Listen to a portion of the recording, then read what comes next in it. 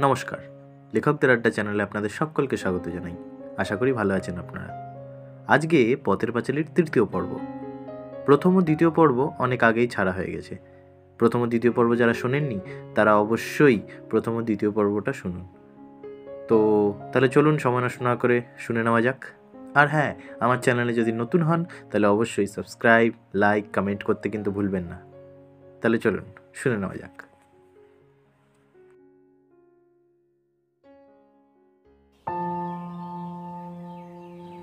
এদিনের ব্যাপারটা এই রূপে ঘটিল। অপু বাবার আদেশে তালপাতে সাতখানা ক, খ হাতের লেখা শেষ করিয়া কি করা যায় ভাবিতে ভাবিতে বাড়ির মধ্যে দিদিকে খুঁজিতে গেল। দুর্গা মায়ের ভয়ে সকালে নাহিয়া আসিয়া ভিতরের উঠানে পেঁপে তলায় পুণ্যি পুকুরের ব্রত করিতেছে। উঠানে ছোট্ট চৌকোনা গর্ত কাটিয়া তাহার চারিধারে ছোলা, মটর ছড়াইয়া দিয়াছিল। ভিজে মাটিতে সেগুলোর অঙ্কুর বাহির হইয়াছে। চারিদিকে কলার ছোট বোগ পুতিয়া ধারে পিটুলি গোলার আলপনা দিতেছে। পদ্মলতা, পাখি, ধানের শীষ, নতুন ওঠা সূর্য। দুর্গা বলিল, দাঁড়া, এই মন্তরটা বলে নিয়ে চল এক জায়গায় যাব। কোথায় রে দিদি? চল না, নিয়ে যাব এখন। দেখিস এখন? পরে আনুষঙ্গিক বিধি অনুষ্ঠান সাঙ্গ করিয়া সে এক নিঃশ্বাসে আবৃত্তি করিতে লাগিল। পুণ্যি পুকুর পুষ্পমালা, কে পূজে রে দুপুর খেলা? আমি সতী লীলাবতী, ভাইয়ের বোন ভাগ্যবতী। অপু দাঁড়াইয়া শুনিতেছিল। বিদ্রুপের ভঙ্গিতে হাসিয়া বলিল, ইস!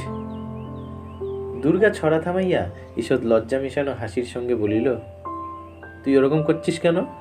যা এখান থেকে। তোর এখানে কি? যা। অপু হাসিয়া চলিয়া গেল। যাইতে যাইতে আবৃত্তি করিতে লাগিল। আমি সতী, লীলাবতী ভাই বোন ভাগ্যবতী। ভাই বোন ভাগ্যবতী। দুর্গা বলিল, তোমার বড় ইয়ে হয়েছে না? মাকে বলে তোমার ভ্যাংচানো বার করব এখন। ব্রতানুষ্ঠান শেষ করিয়া দুর্গা বলিল, চল, গড়ের পুকুরে অনেক পান ফল হয়েছে। ভোদার মা বলছিল চল নিয়ে আসি। গ্রামের একেবারে উত্তরাংশে চারিধারে বাঁশবন ও আগাছা এবং প্রাচীন আম কাঁঠালের বাগানের ভিতর দিয়া পথ। লোকালয় হইতে অনেক দূরে গভীর বন, যেখানে শেষ হইয়াছে সেখানে মাঠের ধারে মজা পুকুরটা। কোনোকালে গ্রামের আদিবাসিন্দা মজুমদারদের বাড়ির চতুর্দিকে যে গড়খাই ছিল, তাহার অন্য অংশ এখন ভরাট হইয়া গিয়েছে। কেবল এইখানটাতে বারো মাস জল থাকে। ইহারই নাম গড়ের পুকুর। মজুমদারদের বাড়ির কোনো চিহ্ন এখন নাই। সেখানে পৌঁছিয়া তাহারা দেখিল, পুকুরে পানফল অনেক আছে বটে, কিন্তু কিনারার ধারে বিশেষ কিছু নাই। সবই জল হইতে দূরে। দুর্গা বলিল, অপু, একটা বাঁশের কঞ্চি দেখতো তাই দিয়ে টেনে আনব। পরে সে পুকুর ধারের ঝোপের শেওড়া গাছ হইতে পাকা শেওড়ার ফল তুলিয়া খাইতে লাগিল। অপু বনের মধ্যে কঞ্চি খুঁজিতে খুঁজিতে দেখিতে পাইয়া বলিল, ও দিদি, ও ফল খাসনি। দূর আর শেওড়ার ফল কি খায় রে? ও তো পাখিতে খায়। দুর্গা পাকা ফল টিপিয়া বীজ বাহির করিতে করিতে বলিল, আয় দেখি, দেখ দেখি খে, মিষ্টি যেন গুড়। কে বলেছে খায় না? আমি তো কত খেয়েছি। অপু কঞ্চি কুড়ানো রাখিয়া দিদির কাছে আসিয়া বলিল খেলে যে বলে পাগল হয়? আমায় একটা দে দিকি দিদি। পরে সে খাইয়া মুখ একটু কাচুমাচু করিয়া বলিল, একটু একটু তেতো যে, দিদি। তা একটু তেতো থাকবে না? তা থাক, মিষ্টি বল দিকি কথা শেষ করিয়া দুর্গা খুব খুশির সহিত গোটা কত পাকা ফল মুখের মধ্যে পুরিল জন্মিয়া পর্যন্ত ইহারা কখনো কোনো ভালো জিনিস খাইতে পাই নাই। অথচ পৃথিবীতে ইহারা নতুন আসিয়াছে, জিহ্বা ইহাদের নূতন। তাহা পৃথিবীর নানা রস, বিশেষত মিষ্ট রস, আস্বাদ করিবার জন্য লালায়িত। সন্দেশ মিঠাই কিনিয়া সে পরিতৃপ্তি লাভ করিবার সুযোগ ইহাদের ঘটে না। বিশ্বের অনন্ত সম্পদের মধ্যে তুচ্ছ বনগাছ হইতে মিষ্ট রস আহরণরত এইসব লুব্ধ দরিদ্র ঘরের বালক বালিকাদের জন্য তাই করুণাময়ী বনদেবীরা বনের তুচ্ছ ফুল ফল মিষ্ট মধুতে ভরাইয়া রাখেন। খানিকক্ষণ পরে দুর্গা পুকুরের জলে একটু নামিয়া বলিল, কত নাল ফুল হয়েছে রে অপু। দাঁড়া, তুলছি। জলে আরও নামিয়া সে দুইটা ফুলের লতা ধরিয়া আনিল। ডাঙায় ছুড়িয়া বলিল, ধর অপু। অপু বলিল পান ফল তো খুব জলে, ওখানে কি করে যাবি দিদি? দুর্গা একটা কঞ্চি দিয়া দূর জলের পান ফলের গাছগুলো টানিবার চেষ্টা করিয়া পারিল না। বলিল, বড্ড গড়ানো পুকুরে গড়িয়ে যাচ্ছি ডুব জলে নাগাল পাই কী করে? তুই এক কাজ কর, পেছন থেকে আমার আঁচল ধরে টেনে রাখ দেখি। আমি কঞ্চি দিয়ে পান ফলের এই ঝাঁকটা টেনে আনি। বনফলের মধ্যে হলদে কি একটা পাখি ময়না কাটা গাছের ডালের আগায় বসিয়া পাতা নাচাইয়া ভারী চমৎকার শীষ দিতেছিল। অপু চাহিয়া চাহিয়া দেখিয়া বলিল, কি পাখি রে দিদি? পাখিটা কি এখন থাক? ধর দিকি বেশ করে আঁচলটা নে, গড়িয়ে যাব, জোর করে। অপু পিছন হইতে আঁচলটা নিয়ে রাখিল। দুর্গা পায়ে পায়ে নামিয়া যতদূর যায় কঞ্চি আগাইয়া দিল। কাপড় চোপড় ভিজিয়া গেল, তবু নাগাল আসে না। আরও একটুখানি নামিয়া আঙুলের আগায় মাত্র কঞ্চিখানাকে ধরিয়া টানিবার চেষ্টা করিল। অপু টানিয়া ধরিয়া থাকিতে থাকিতে শক্তিতে আর কুলাইতেছে না দেখিয়া পিছন হইতে হাসিয়া উঠিল। হাসির সঙ্গে আঁচল ঢিলা হওয়াতে দুর্গা জলের দিকে ঝুঁকিয়া পড়িল। কিন্তু তখনই সামলাইয়া হাসিয়া বলিল, দূর, তুই যদি কোনো কাজের ছেলে, ধর ফের। অতি কষ্টে একটা পানফলের ঝাঁক কাছে আসিল। দুর্গা কৌতূহলের সহিত দেখিতে লাগিল। কতগুলো পানাফল ধরিয়াছে। পরে ডাঙায় ছুড়িয়া দিয়া বলিল, বড্ড কচি, এখনও দুধ হয়নি মধ্যে। আর একবার ধরতো অপু আবার পিছন থেকে টানিয়া ধরিয়া ওড়িল খানিকটা থাকিবার পর সে দিদির দিকে ঝুঁকিবার সঙ্গে সঙ্গে টানের চোটে আবার দু এক পা জলের দিকে আগাইয়া আসিল। পরে কাপড় ভিজিয়া যায় দেখিয়া হি হি করিয়া হাসিয়া উঠিল। দুর্গা হাসিয়া বলিল, দূর। ভাই বোনের কলহাস্য খানিক্ষণ ধরিয়া পুকুর প্রান্তের নির্জন বাঁশবাগান মুখরিত হইতে লাগিল। দুর্গা বলিল, এতটুকু যদি জোর থাকে তোর গায়ে। গাবের ঢেকি কোথাকার? খানিকটা পরে দুর্গা জলে নামিয়া আর একবার চেষ্টা করিয়া দেখিতেছে। অপু ডাঙায় দাঁড়াইয়া আছে। এমন সময় অপু পাশের একটা শেওড়া গাছের দিকে আঙুল দেখাইয়া চেঁচাইয়া বলিয়া উঠিল, দিদি দেখ কি এখানে? পরে সে ছুটিয়া গিয়া মাটি খুঁড়িয়া কি তুলিতে লাগিল? দুর্গা জল হইতে জিজ্ঞাসা করিল, কি রে? পরে সেও উঠিয়া ভাইয়ের কাছে আসিল। অপু ততক্ষণ মাটি খুঁড়িয়া কি একটা বাহির করিয়া কোচার কাপড় দিয়া মাটি মুছিয়া সাফ করিতেছে। হাতে করিয়া আহ্লাদের সহিত দিদিকে দেখাইয়া বলিল, দেখ দিদি, চকচক করছে, কি জিনিস রে? দুর্গা হাতে লইয়া দেখিল। গোল মতো একদিক ছুচালো পল কাটা কাটা চকচকে কি একটা জিনিস। সে খানিক্ষণ আগ্রহের সহিত নানাভাবে উল্টাইয়া পাল্টাইয়া দেখিতে লাগিল। হঠাৎ কি ভাবিয়া তাহার রুক্ষ চুলে ঘেরা মুখ উজ্জ্বল হয়ে উঠিল। সে ভয় ভয়ে চারিদিকে চাহিয়া দেখিল, কেহ দেখিতেছে কিনা। চুপি চুপি বলিল, অপু, এটা বোধহয় হিরে। চুপ কর, চেঁচাসনি। পরে সে ভয়ে ভয়ে আরেকবার চারিদিকে চাহিয়া দেখিল। অপু দিদির দিকে অবাক হইয়া চাহিয়া রহিল। হীরক বস্তুটি তাহার অজ্ঞাত নয়। মায়ের মুখে, দিদির মুখে রূপকথার রাজপুত্র ও রাজকন্যার হীরামুক্তার অলঙ্কারের ঘটা সে অনেকবার শুনিয়াছে। কিন্তু হীরা জিনিসটা কীরকম দেখিতে, সে সম্বন্ধে তাহার মনে একটু ভুল ধারণা ছিল। তাহার মনে হইত, হীরা দেখিতে মাছের ডিমের মতো। হলদে হলদে, তবে নরম নয়। শক্ত। সর্বজয়া বাড়ি ছিল না। পাড়া হইতে আসিয়া দেখিল, ছেলে মেয়ে বাড়ির ভিতর থেকে দরজার কাছে দাঁড়াইয়া আছে। কাছে যাইতেই দুর্গা চুপি চুপি বলিল, মা, একটা জিনিস কুড়িয়ে পেয়েছি আমরা। গড়ের পুকুরে পান ফল তুলতে গিয়েছিলাম, মা। সেখানে জঙ্গলের মধ্যে এইটি পোতা ছিল। অপু বলিল, আমি দেখে দিদিকে বললাম, মা। দুর্গা আঁচল হইতে জিনিসটা খুলিয়া মায়ের হাতে দিয়া বলিল দেখো দেখি কি এটা মা। সর্বজয়া উল্টাইয়া পাল্টাইয়া দেখিতে লাগিল। দুর্গা চুপি চুপি বলিল, মা, এটা ঠিক হিরে নয়। সর্বজয়েরও হীরক সম্বন্ধে ধারণা তাহাদের অপেক্ষা বেশি স্পষ্ট নহে। সে সন্দিগ্ধ সুরে জিজ্ঞাসা করিল কী করে জানলি হিরে? দুর্গা বলিল, মজুমদারেরা বড় লোক ছিল তো মা। ওদের ভিটের জঙ্গলে কারা নাকি মোহর কুড়িয়ে পেয়েছিল। পিসি গল্প করত। এটা একেবারে পুকুরের ধারে বনের মধ্যে পোতা ছিল। রোদ্দুর লেগে চকচক করছিল। এটা ঠিক মা হিরে। সর্বজয়া বলিল, আগে উনি আসুন, ওকে দেখাই। দুর্গা বাহিরের উঠানে আসিয়া আহ্লাদের সহিত ভাইকে বলিল, হিরে যদি হয়, তবে দেখিস, আমরা বড় মানুষ হয়ে যাব। অপু না বুঝিয়া বোকার মতো হি হি করিয়া হাসিল। ছেলে মেয়ে চলিয়া গেলে জিনিসটা বাহির করিয়া সর্বজয়া ভালো করিয়া দেখিতে লাগিল। গোল মতো ধার কাটা ও পল তোলা এক মুখ ছুচালো। যেন সিঁদুর কৌটার ঢাকনির উপরটা। বেশ চকচকে। সর্বজয়ার মনে হইল যেন অনেক রকম রং সে ইহার মধ্যে দেখিতে পাইতেছে। তবে কাঁচ যে নয়, ইহা ঠিক। এরকম ধরনের কাজ সে কখনো দেখিয়াছে বলিয়া তো মনে হয় না। হঠাৎ তাহার সমস্ত গা দিয়া যেন কিসের স্রোত বাহিয়া গেল। তাহার মনের এক কোণে নানা সন্দেহের বাধা ঠেলিয়া একটা গাঢ় দুরাশা ভয় ভয় একটু উকি মারিল। সত্যিই যদি হিরে হয়, তাহলে? হীরক সম্বন্ধে তাহার ধারণাটা পরশপাথর কিংবা সাপের মাথার মণি জাতীয় ছিল। কাহিনী কথা মাত্র। বাস্তব জগতে বড় একটা দেখা যায় না। আর যদি বা দেখা যায়, তবে দুনিয়ার ঐশ্বর্য বোধ হয় এক হীরার বদলে পাওয়া যাইতে পারে। খানিকটা পরে একটা পুটলি হাতে হরিহর বাড়ি ঢুকিল।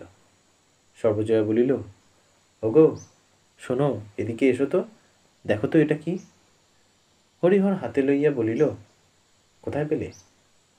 দুর্গা গড়ের পুকুরে পানফল তুলতে গিয়েছিল, কুড়িয়ে পেয়েছে। কি বলো দেখি?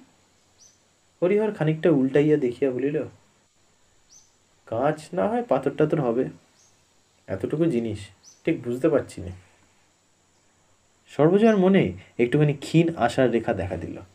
কাজ হইলে তাহার স্বামী কি চিনতে পারিত না? পরে সে চুপি চুপি যেন পাছে স্বামী বিরুদ্ধ যুক্তি দেখায় এই ভয় বলিল, হিরে নয় তো? দুর্গা বলছিল, মজুমদার বাড়ির পরে তো কত লোক কত কি কুড়িয়ে পেয়েছে। যদি হিরে হয়? হ্যাঁ হিরে যদি পথে ঘাটে পাওয়া যেত, তবে আর ভাবনা গিয়েছিল তুমিও যেমন? তাহার মনে মনে ধারণা হইল, ইহা কাজ পরক্ষণেই কিন্তু মনে হইল, হয়তো হইতেও পারে। বলা যায় কি, মজুমদারেরা বড় লোক ছিল। বিচিত্র কি যে, হয়তো তাদেরই গহনা টহনায় কোনো কালে বসানো ছিল। কি করিয়া মাঠের মধ্যে পুতিয়া গিয়াছে? কথায় বলে, কপালে না থাকিলে গুপ্তধন হাতে পড়িলেও চেনা যায় না। শেষে কি দরিদ্র ব্রাহ্মণের গল্পের মতো ঘটিবে? সে বলিল আচ্ছা দাঁড়াও, একবার বরং গাঙ্গুলি বাড়ি দেখিয়ে আসি। রাতিতে রাতিতে সর্বজয়া বারবার মনে মনে বলিতে লাগিল, দোহাই ঠাকুর, কত লোক তো কী কুড়িয়ে পায়? এই কষ্ট যাচ্ছে সংসারের। বাচ্চাদের দিকে মুখ তুলে তাকিও, দোহাই ঠাকুর। তাহার বুকের মধ্যে টিপ টিপ করিতেছিল। খানিকটা পরে দুর্গা বাড়ি আসিয়া আগ্রহের সুরে বলিল হ্যাঁ বাবা এখনও বাড়ি ফেরেনি? সঙ্গে সঙ্গে হরিহর বাড়ির ভিতরে ঢুকিয়া বলিল, হুম, তখনই আমি বললাম, এ কিছুই নয়। গাঙ্গুলি মশাইয়ের জামাই সত্যবাবু কলকাতা থেকে এসেছেন। তিনি দেখে বললেন একরকম বেলোয়ারি কাঁচ ঝাড় লণ্ঠনে ঝোলানো থাকে। রাস্তাঘাটে যদি হিরে জহরত পাওয়া যেত, তাহলে তুমিও যেমন। বৈশাখ মাসের দিন, প্রায় দুপুরবেলা। সর্বজয়া বাটনা বাটিতে বাটিতে ডান হাতের কাছে রক্ষিত একটি ফুলের সাজিতে অনেকদিন হইতে ফুলের সহিত ইহার কোনো সম্পর্ক নাই। মশলা রাখিবার পাত্র হিসাবে ব্যবহৃত হয়। মশলা খুঁজিতে গিয়া বলিল, আবার জিরে মরিচের পুটলিটা কোথায় নিয়ে পালালি রে? বড্ড জ্বালাতন করছিস অপু রাত্রে দিবি নে। তারপর একটু পরেই বলো এখন, মা খিদে পেয়েছে। অপুর কিন্তু দেখা নেই। দিয়ে যা বাপ আমার, লক্ষ্মী আমার, কেন জ্বালাতন করছিস বল দেখি। দেখছিস বেলা হয়ে যাচ্ছে। অপু রান্নাঘরের ভিতর হইতে দুয়ারের পাঁচ দিয়া ঈষৎ উকি মারিল। মায়ের চোখ সেদিকে পড়িতেই তাহার দুষ্টমির হাসি ভরা টুকটুকে মুখখানা শামুকের খোলার মধ্যে ঢুকিয়ে পড়িবার মতো তৎক্ষণাৎ আবার দুয়ারের আড়ালে অদৃশ্য হইয়া গেল। সর্বজয়া বলিল, দেখ দিকি কাণ্ড, কেন বাবু দিক করছিস দুপুরবেলা? দিয়ে যা। অপু পুনরায় হাসি মুখে ঈষৎ উকি মারিল। এই, আমি দেখতে পেয়েছি আর লুকোতে হবে না। দিয়ে যা। আমোদের হাসি হাসিয়া সে আবার দুয়ারের আড়ালে মুখ লুকাইল। সর্বজয়া ছেলেকে ভালো রূপেই চিনিত। যখন অপু ছোট্ট খোকা দেড় বছরেরটি, তখন দেখিতে সে এখনকার চেয়েও টুকটুকে ফর্সা ছিল। সর্বজার মনে আছে, সে তাহার ডাগর চোখ দুটোতে বেশ করিয়া কাজল পড়াইয়া, কপালের মাঝখানে একটা টিপ পড়াইয়া দিত। এবং তাহার মাথায় একটা নীল রঙের কম দামের ঘষ্টিওয়ালা পশমের টুপি পড়াইয়া কোলে করিয়া সন্ধ্যার পূর্বে বাহিরের রকে দাঁড়াইয়া ঘুম পাড়াইবার উদ্দেশ্যে সুর টানিয়া টানিয়া বলিত, আয় রে পাখি, লেজ ঝোলা, আমার খোকনকে নিয়ে গাছে তোলা খোকা ট্যাপা ট্যাপা ফুলো ফুলো গালে মায়ের মুখের দিকে হা করিয়া চাহিয়া থাকিত। পরে হঠাৎ কি মনে করিয়া সম্পূর্ণ দন্তহীন মারি বাহির করিয়া আহ্লাদে আটখানা না হইয়া মল পড়া অসম্ভব রূপ ছোট্ট পায়ে মাকে আঁকড়াইয়া ধরিয়া মায়ের পিঠের দিকে মুখ লুকাইত। সর্বজয়া হাসি মুখে বলিত, ওমা, খোকা আবার কোথায় লুকোলো? তাই তো দেখতে তো পাচ্ছি নে। ও খোকা। পরে সে ঘাড়ের দিকে মুখ ফিরাইতেই শিশু আবার হাসিয়া মুখ সামনের দিকে ফিরাইত এবং নির্বোধের মতো হাসিয়া মায়ের কাঁধে মুখ লুকাইত। যতই সর্বজয়া বলিত, ওমা, কই আমার খোকা, কই? আবার কোথায় গেল? কই দেখি? ততই শিশুর খেলা চলিত। বারবার সামনে পিছনে ফিরিয়া সর্বজয়ার ঘাড়ে ব্যথা হইলেও শিশুর খেলা শেষ হইত না। সে তখন একেবারে আনকোড়া টাটকা নতুন সংসারে আসিয়াছে। জগতের অফুরন্ত আনন্দ ভাণ্ডারের এক অনুর সন্ধান পাইয়া তাহার অবোধ মন তখন সেইটাকেই লইয়াই লোভীর মতো বারবার আস্বাদ করিয়াও স্বাদ মিটাইতেই পারিতেছে না। তখন তাহাকে থামায় এমন সাধ্য তাহার মায়ের কোথায়? খানিক্ষণ এরূপ করিতে করিতে তাহার ক্ষুদ্র শরীরে শক্তির ভাণ্ডার ফুরাইয়া আসিত। সে হঠাৎ যেন অন্যমনস্ক হইয়া হাই তুলিতে থাকিত। সর্বজয়া ছোট্ট হাটির সামনে তুড়ি দিয়া বলিত, ষাট ষাট এই দেখো, দেয়ালা করে করে এইবার বাছার আবার ঘুম আসছে। পরে সে মুগ্ধ নয়নে শিশুপুত্রের টিপ কাজল পড়া কচি মুখের দিকে চাহিয়া বলিত, কত রঙ্গই জানে শনকু আমার, তবুও তো এই সেটের দেড় বছরের। হঠাৎ সে আকুল চুম্বনে খোকার রাঙা গাল দুটো ভরাইয়া ফেলিত। কিন্তু মায়ের এই গাঢ় আদরের প্রতি সম্পূর্ণ ঔদাসীন্য প্রদর্শন করিয়াই শিশুর নিদ্রাতুর আখিপাত ঢলিয়া আসিত। সর্বজয়া খোকার মাথাটা আস্তে আস্তে নিজের কাঁধে রাখিয়া বলিত, মা, সন্ধেবেলা দেখো ঘুমিয়ে পড়ল। এই ভাবছি সন্ধেটা উত্রুলে দুধ খাইয়ে ঘুম পাড়াবো? দেখো কাণ্ড সর্বজয়া জানিত, ছেলে আট বছরের হইলে কি হইবে? সেই ছেলেবেলাকার মতো মায়ের সহিত লুকোচুরি খেলিবার স্বাদ তাহার এখনও মিটে নাই। এমন সব স্থানে সে লুকায় যেখান হইতে অন্ধও তাহাকে বাহির করিতে পারে। কিন্তু সর্বজয়া দেখিয়াও দেখে না। এক জায়গায় বসিয়াই এদিক ওদিকে চায়। বলে, তাই তো? কোথায় গেল? দেখতে তো পাচ্ছি নে। অপু ভাবে মাকে কেমন ঠকাইতে পারা যায়। মায়ের সহিত এ খেলা করিয়া মজা আছে। সর্বজয়া জানে যে, খেলায় যোগ দিবার ভান করিলে এইরূপ সারাদিন চলিতে পারে। কাজেই সে ধমক দিয়া কহিল, তাহলে কিন্তু থাকল পড়ে রান্না বান্না অপু, তুমি এরকম করো, খেতে চাইলে তখন দেখবে মজাটা অপু হাসিতে হাসিতে গুপ্তস্থান হইতে বাহির হইয়া মশলার পুটুলি মায়ের সামনে রাখিয়া দিল। তাহার মা বলিল, যা, একটু খেলা করকে যা বাইরে। দেখ যা দেখি, তোর দিদি কোথায় আছে। গাবতলায় দাঁড়িয়ে একটু হাঁক দিয়ে দেখ দেখি। তার আজ নাইবার দিন। অতচ্ছাড়া মেয়ের নাগাল পাওয়ার জো আছে? যা তো লক্ষ্মী ছেলে। কিন্তু এখানে মাতৃ আদেশ পালন করিয়া সুপুত্র হইবার কোনো চেষ্টা তাহার দেখা গেল না। সে বাটনা বাটারত মায়ের পিছনে গিয়া কি করিতে লাগিল? হুম। সর্বজয়া পিছন ফিরিয়া দেখিল, অপু বড়ি দেওয়ার জন্য চালের বাতায় রক্ষিত একটা পুরনো চট আনিয়া মুড়ি দিয়া মেঝেতে হামাগুড়ি দিয়া বসিয়া আছে। দেখো দেখো দেখো, ছেলের কাণ্ড দেখো একবার। ও লক্ষ্মী ছাড়া, ওতে যে সাত রাজ্যের ধুলো। ফেল ফেল ফেল।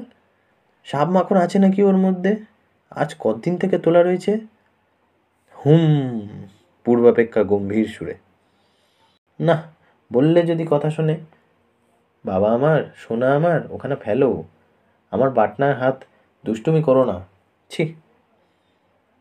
থলে মোড়া মূর্তিটা হামাগুড়ি দিয়া একবার দুই কদম আগাইয়া আসিল।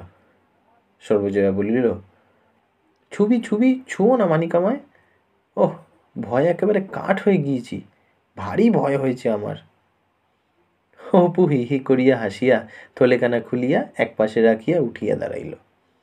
তাহার মাথার চুল, মুখ, চোখের ভুরু, কান ধুলায় ভরিয়া গিয়েছে। মুখ কাচুমাচু করিয়া সে সামনের ক্ষুদ্র দাঁত কিচকিচ করিতেছে। উমা, আমার কি হবে? হ্যাঁ রে হতবাগা, ধুলো মেখে যে একেবারে ভূত সেজেছিস। উহ, ওই পুরনো থলেটার ধুলো, একেবারে পাগল। ধূলি দূষরিত অবধপুত্রের প্রতি করুণা ও মমতায় সর্বজয়ার বুক ভরিয়া আসিল। কিন্তু অপুর পরনে বাসি কাপড় নাইয়া ধুইয়া ছোঁয়া চলে না বলিয়া বলিল, এই গামছাখানা নে, এই দিয়ে ধুলোগুলো আগে ঝেড়ে ফেল। ছেলে যেন কি একটা? খানিকটা পরে ছেলেকে রান্নাঘরের পাহারার জন্য বসাইয়া সে জল আনিতে বাহির হইয়া যাইতেছে। এই দেখে দরজা দিয়া দুর্গা বাড়ি ঢুকিতেছে। মুখ রৌদ্রে রাঙা।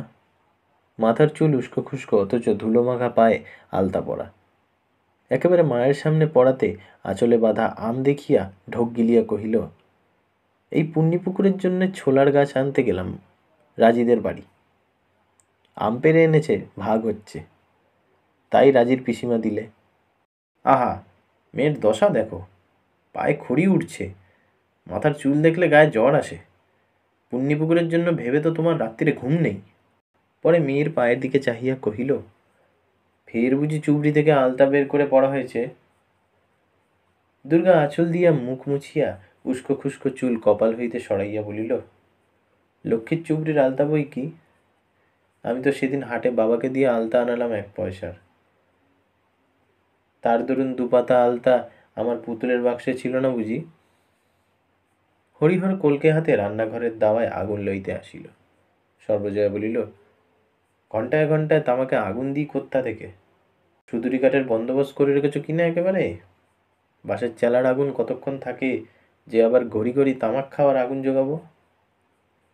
পরে আগুন তুলিবার জন্য রক্ষিত একটি ভাঙা পিতলের হাতাতে খানিকটা আগুন উঠাইয়া বিরক্ত মুখে সামনে ধরিল। পরে সুর নরম করিয়া কহিল, কি হলো? একরকম ছিল তো সব ঠিকই। বাড়ি শুদ্ধ সবাই মন্তর নেবার কথাই হয়েছিল। কিন্তু একটু মুশকিল হয়ে যাচ্ছে। মহেশ বিশ্বাসের শ্বশুরবাড়ির বিষয় আশয় নিয়ে কি গোলমাল বেঁধেছে? বিশ্বাস মশাই গিয়েছে সেখানে চলে। সেই আসল মালিক কি না? তাই আবার একটু পিছিয়ে গেল। আবার এদিকেও তো অকাল পড়েছে আষাঢ় মাস থেকে। আর সেই যে বাঁশের জায়গা দেবে বাস করব বলেছিল, তা কি হলো? এই নিয়ে একটু মুশকিল বেঁধে গেল কি না? ধরো যদি মন্তর নেওয়া পিছিয়ে দেয় তবে ও কথা আর কি করে ওঠাই? সর্বজয়া খুব আশায় আশায় ছিল। সংবাদ শুনিয়া আশাভঙ্গ হইয়া পড়িল। বলিল, তা ওখানে না হয় অন্য কোনো জায়গায় দেখো না? বিদেশে মান আছে। এখানে কেউ পোছে এই দেখো, আম কাঁঠালের সময় একটা আম কাঁঠাল ঘরে নেই। মেয়েটা কাদের বাড়ি থেকে আজ দুটো আধ পচা আম নিয়ে এলো। পরে সে উদ্দেশ্যে বাড়ির পশ্চিম দিকে মুখ ফিরাইয়া বলিল, এই ঘরের দৌড় থেকে ঝুড়ি ঝুড়ি আম পেরে নিয়ে যায়। বাছারা আমার চেয়ে চেয়ে দেখে। এ কি কম কষ্ট? বাগানের কথার উল্লেখে হরিহর বলিল, উহ ও কি কম ধরিবাজ নাকি? বছরে পঁচিশ টাকা খাজনা ফেলে। ঝেলে হতো। তাই কি না লিখে নিলে পাঁচ টাকায়। আমি গিয়ে এত করে বললাম, কাকা, আমার ছেলেটা মেয়েটা আছে। এই বাগানে আম জাম কুড়িয়ে মানুষ হচ্ছে। আমার তো আর কোথাও কিছু নেই। আর ধরুন, আমাদের জ্ঞাতির বাগান আপনার তো ঈশ্বর ইচ্ছে কোনো অভাব নেই। দুটো এত বড় বাগান রয়েছে। আম, জাম, নারকেল, সুপারি, আপনার অভাব কি? বাগানখানা গিয়ে ছেড়ে দিন গে যান। তা বললে কি জানো? বললে, নীলমণি দাদা বেঁচে থাকতে ওর কাছে নাকি তিনশো টাকা ধার করেছিল। তাই অমনি করে শোধ করে নিল। শোনো কথা, নীলমণি দাদার বড্ড অভাব ছিল কি না? তাই তিনশো টাকার জন্য গিয়েছে ভুবন মুখুজ্জের কাছে হাত পাততে। বৌদিকে ভালো মানুষ পেয়ে মাথায় হাত বুলিয়ে নিলে আর কি। ভালো মানুষ তো কত, সেও নাকি বলেছে। জ্ঞাতি সত্তর পর হাতে বাগান থাকলে আর কিছু পাওয়া যাবে না। ফল পাকুট এমনই খাবে। তার চেয়ে কিছু কম জমাতেও যদি বন্দোবস্ত হয়, খাজনাটা তো পাওয়া যাবে। হরিহর বলিল, খাজনা কি আর আমি দিতাম না? বাগান জমা দেবে, তাই কি আমায় জানতে দিলে? বৌদিদিকে লুচি মোহনবক খাইয়ে হাত করে চুপি চুপি লিখিয়ে নিলে।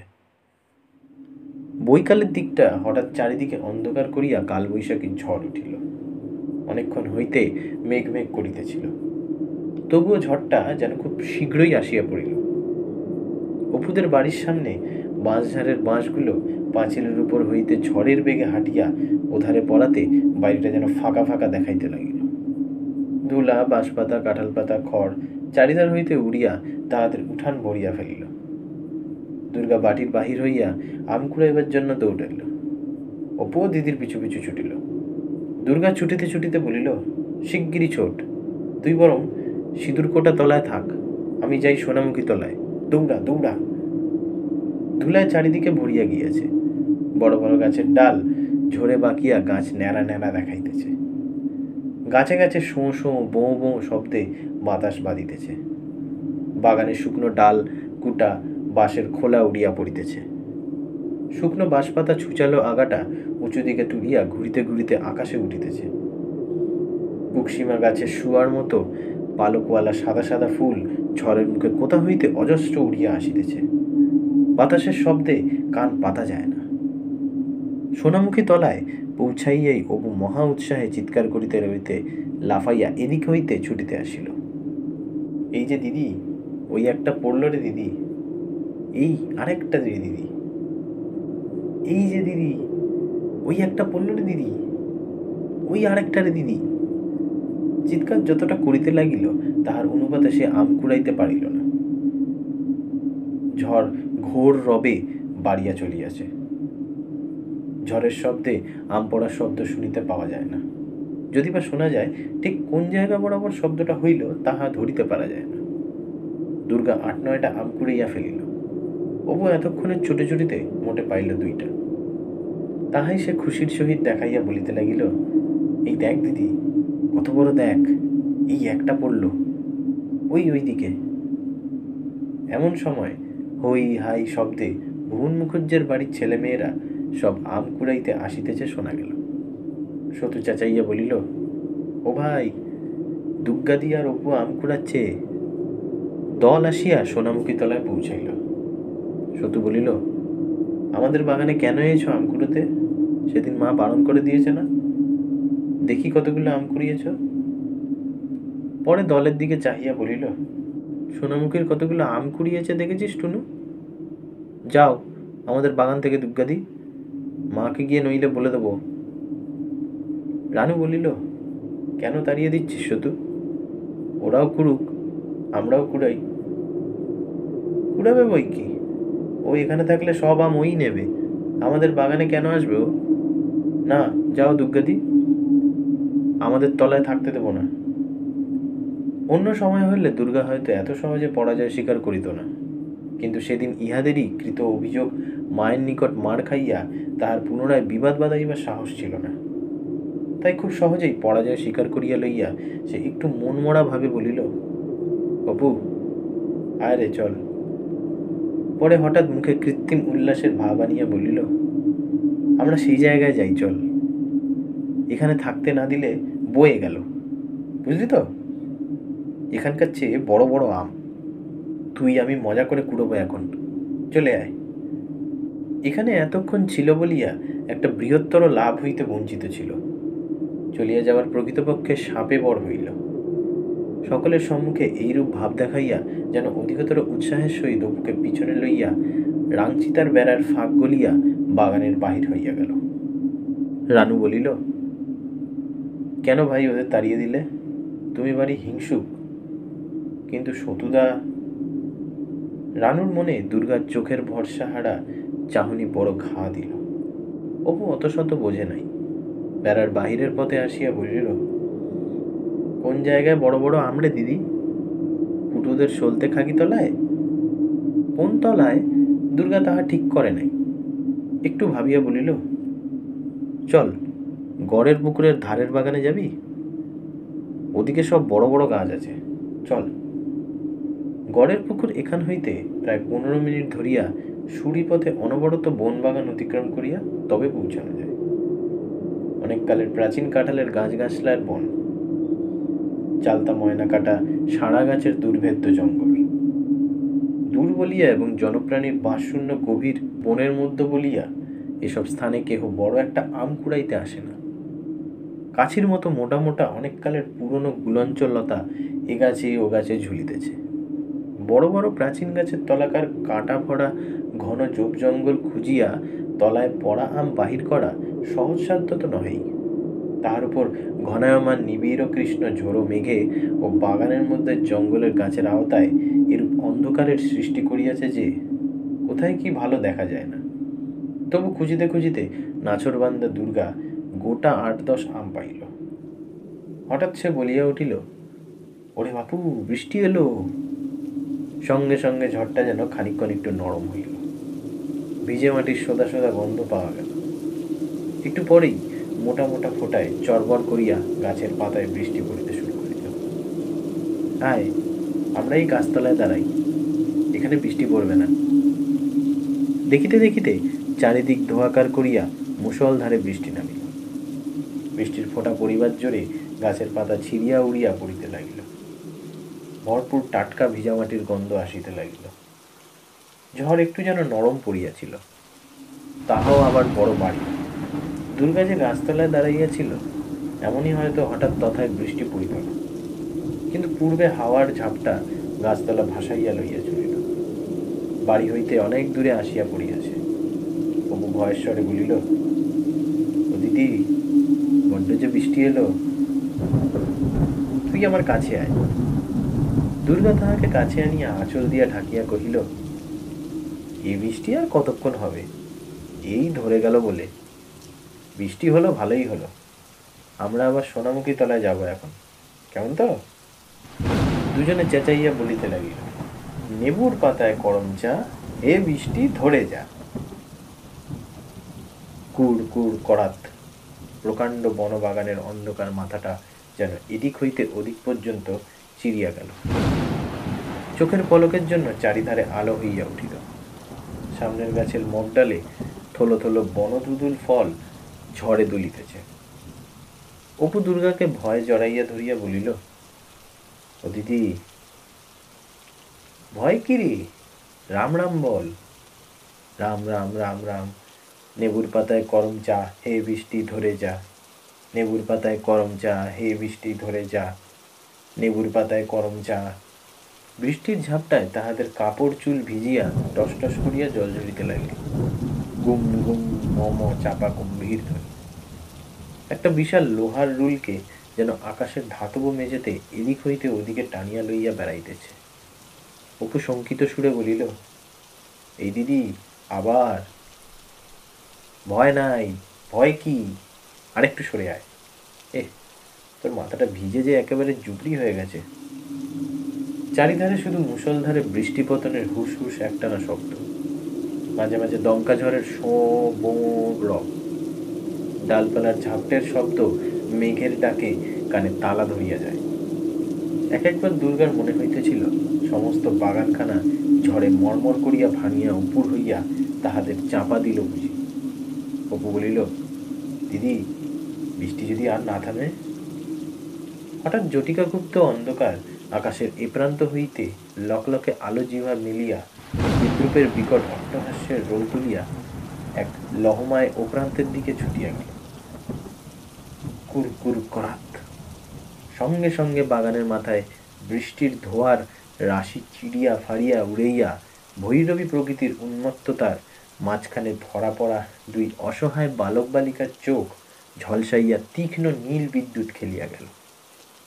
অপু ভয় চোখ মুজিল দুর্গা শুষ্ক গলায় উপরের দিকে চাহিয়া দেখিল, বাজ পড়িতেছে নাকি। গাছের মাথায় বনদুদুলের ফল জ্বলিতেছে। সেই বড় লোহার রুলটাকে আকাশের এদিক হইতে কে যেন আবার এই দিকে টানিয়া আনিতেছিল। শীতে অপুর ঠকঠক করিয়া দাঁতে দাঁত লাগিতেছিল। দুর্গা তাহাকে আরও কাছে টানিয়া আনিয়া শেষ আশ্রয়ের সাহসে বারবার দ্রুত আবৃত্তি করিতে লাগিল। নেবুর পাতায় করম চা, হে বৃষ্টি ধরে যা। ভয় তাহার স্বর কাঁপিতেছিল। সন্ধ্যা হইবার বেশি বিলম্ব নাই। ঝড় বৃষ্টি খানিক্ষণ থামিয়া গিয়াছে। সর্বজয়া বাহিরের দরজায় দাঁড়াইয়া আছে। পথে জমিয়া যাওয়া বৃষ্টি জলের ওপর ছপ ছপ শব্দ করিতে করিতে রাজকৃষ্ণ পালিতের মেয়ে আশালতা পুকুরের ঘাটে যাইতেছিল। সর্বজয়া জিজ্ঞাসা করিল, হামা দুর্গা আর অপুকে দেখেছিস ওদিকে? আশালতা বলিল, না খুড়িমা, দেখিনি তো। কোথায় গিয়েছে? তারপর হাসিয়া বলিল, কি ব্যাং ডাকানি জল হয়ে গেল খুড়িমা। সেই ঝড়ের আগে দুজনে বেরিয়েছে আম কুড়োতে যাই বলে। আর তো ফেরেনি। এই ঝড় বৃষ্টি গেল, সন্ধে হলো। কোথায় গেল তবে? সর্বজয় উদ্বিগ্ন মনে বাড়ির মধ্যে ফিরিয়া আসিল। কি করিবে ভাবিতেছে? এমন সময় খিড়কির দরজা ঠেলিয়া খুলিয়া আপদমস্তক সিক্ত অবস্থায় দুর্গা আগে আগে একটা ঝুনা নারিকেল হাতে ও পেছনে পেছনে অপু একটা নারিকেলের বাগলো টানিয়া লইয়া বাড়ি ঢুকিল। সর্বজয়া তাড়াতাড়ি ছেলেমেয়ের কাছে গিয়া বলিল, ও মা, আমার কি হবে? ভিজে যেসব একেবারে পান্তা ভাত হয়েছিস? কোথায় ছিলি বৃষ্টির সময়? ছেলেকে কাছে আনিয়া মাথায় হাত দিয়া বলিল, ও মা, মাথাটা যে ভিজে একেবারে জুবড়ি। পরে আহ্লাদের সহিত বলিল, নারকল কোথা থেকে পেলি রে দুর্গা?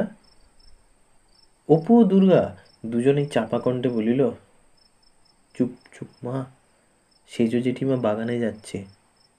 এই গেল। ওদের বাগানের বেড়ার ধারের দিকে যে নারকল গাছ, ওর তলায় পড়েছিল। আমরাও বেরোচ্ছি। সেজ জেঠিমাও ঢুকলো। দুর্গা বলিল, অপুকে তো ঠিক দেখেছে, আমাকেও বোধহয় দেখেছে। পরে সে উৎসাহের সঙ্গে অথচ চাপা সুরে বলিতে লাগিল, একেবারে গাছের গোড়ায় পড়েছিল মা, আগে আমি টের পাইনি। সোনামুখী তলায় যদি আম পড়ে থাকে, তাই দেখতে গিয়ে দেখি বাগলোটা পড়ে রয়েছে। অপুকে বললাম, অপু বাগলোটা নেই মার ঝাঁটার কষ্ট, ঝাঁটা হবে। তারপরেই দেখি, হস্তস্থিত নারকেলটার দিকে উজ্জ্বল মুখে চাহিয়া বলিল, বেশ বড় না মা?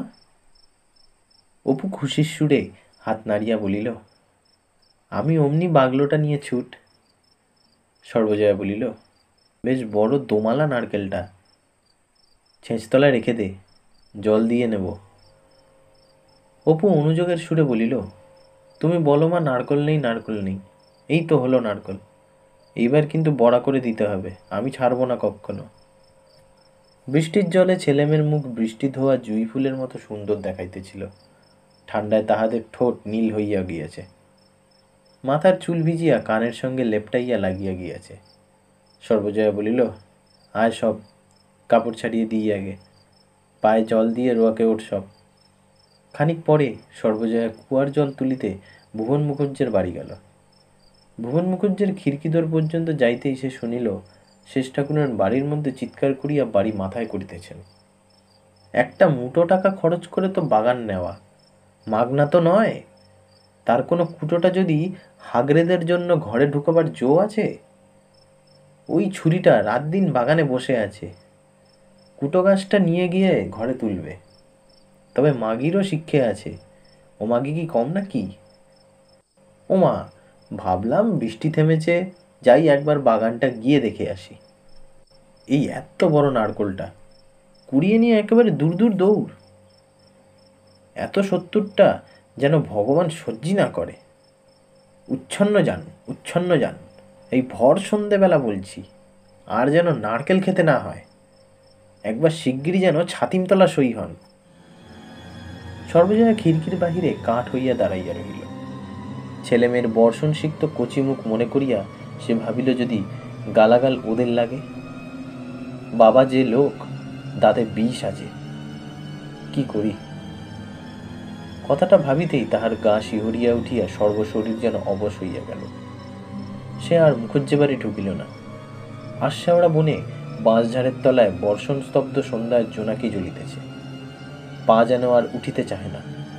ভয় ভয়ে সে জল তুলিবার ছোট্ট বালতিটা ও ঘড়া কাঁখে লইয়া বাড়ির দিকে ফিরিল। পথে আসিতে আসিতে ভাবিল, যদি নারকোলটা ওদের ফেরত দিই, তাহলেও কি গাল লাগবে? তা কেন লাগবে?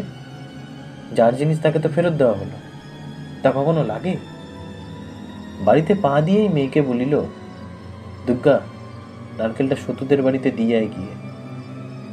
অপু ও দুর্গা অবাক হইয়া মায়ের মুখের দিকে চাহিয়া রহিল।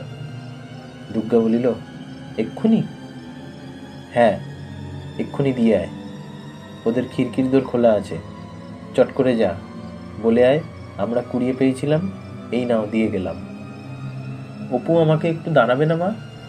বড্ড অন্ধকার হয়েছে। চল অপু আমার সঙ্গে।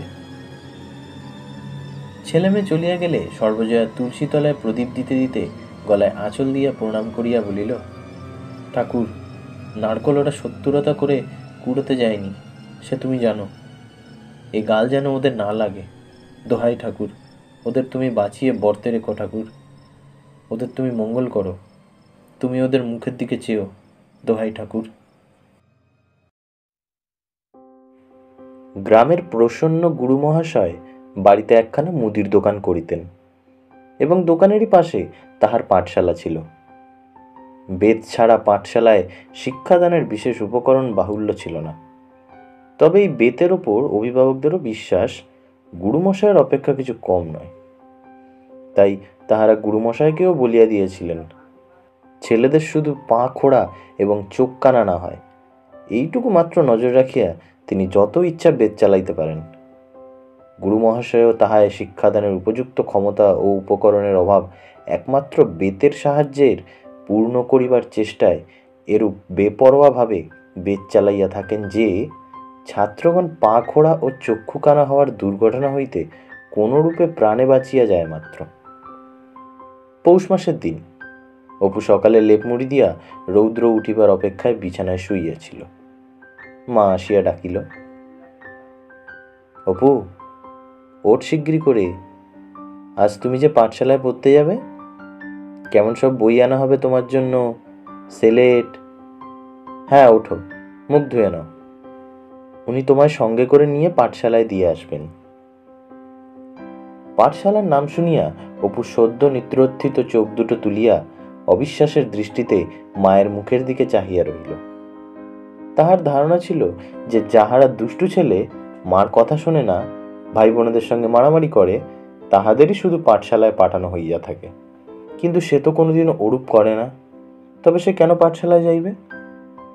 খানিক পরে সর্বজয়া পুনরায় আসিয়া বলিল, ও টপু, মুখ ধুয়ে নাও। তোমায় অনেক করে মুড়ি বেঁধে দেবো এখন। পাঠশালায় বসে বসে খেও এখন। লক্ষ্মী মানিক মায়ের কথার উপরে সে অবিশ্বাসে সুরে বলিল ই পরে মায়ের দিকে চাহিয়া জীব বাহির করিয়া চোখ বুজিয়া এক প্রকার মুখভঙ্গি করিয়া রহিল। উঠিবার লক্ষণ দেখাইল না। কিন্তু অবশেষে বাবা আসিয়া পড়াতে অপুর বেশি জারিজুরি খাটিল না। যাইতে হইল। মার প্রতি অভিমানে তাহার চোখে জল আসিতেছিল। খাবার বাঁধিয়া দিবার সময় বলিল, আমি কখনো আর বাড়ি আসছি নে, দেখো। ষাট ষাট, বাড়ি আসবি নে কি? ও কথা বলতে নেই। ছি। পরে তাহার চিবুকে হাত দিয়া চুমু খাইয়া বলিল, খুব বিদ্যে হোক, ভালো করে লেখাপড়া শিখো তখন দেখবে তুমি কত বড় চাকরি করবে, কত টাকা হবে তোমার, কোনো ভয় নেই। ওগো, তুমি গুরুমশাইকে বলে দিও, ওকে যেন কিছু না বলে। পাঠশালায় পৌঁছাইয়া দিয়া হরিহর বলিল, ছুটি হবার সময় আমি আবার এসে তোমাকে বাড়ি নিয়ে যাব। অপু, বসে বসে লেখো, গুরুমশাইয়ের কথা শোনো, দুষ্টুমি করো না যেন। খানিকটা পরে পিছন ফিরিয়া অপু চাহিয়া দেখিল, বাবা ক্রমে পথের বাঁকে অদৃশ্য হইয়া গেল। অকুল সমুদ্র। সে অনেকক্ষণ মুখ নিচু করিয়া বসিয়া রহিল। পরে ভয়ে ভয়ে মুখ তুলিয়া চাহিয়া দেখিল, গুরু মহাশয় দোকানের মাচায় বসিয়া দাড়িতে সৈন্ধব লবণ ওজন করিয়া কাহাকে দিতেছেন? কয়েকটি বড় বড় ছেলে আপন আপন চাটাইয়া বসিয়া নানারূপ কুস্বর করিয়া কি পড়িতেছে ও ভয়ানক দুলিতেছে। তাহার অপেক্ষা আরেকটু ছোট একটা ছেলে খুঁটিতে ঠেস দিয়া আপন মনে পাত্তারির তালপাতা মুখে পুড়িয়া চিবাইতেছে। আরেকটি বড় ছেলে তাহার গালে একটা আঁচিল। সে দোকানের মাচার নিচে চাহিয়া কি লক্ষ্য করিতেছে? তাহার সামনে দুজন ছেলে বসিয়া স্লেটে একটি ঘর আঁকিয়া কি করিতেছিল? একজন চুপি চুপি বলিতেছিল, আমি এই ঢেলা দিলাম।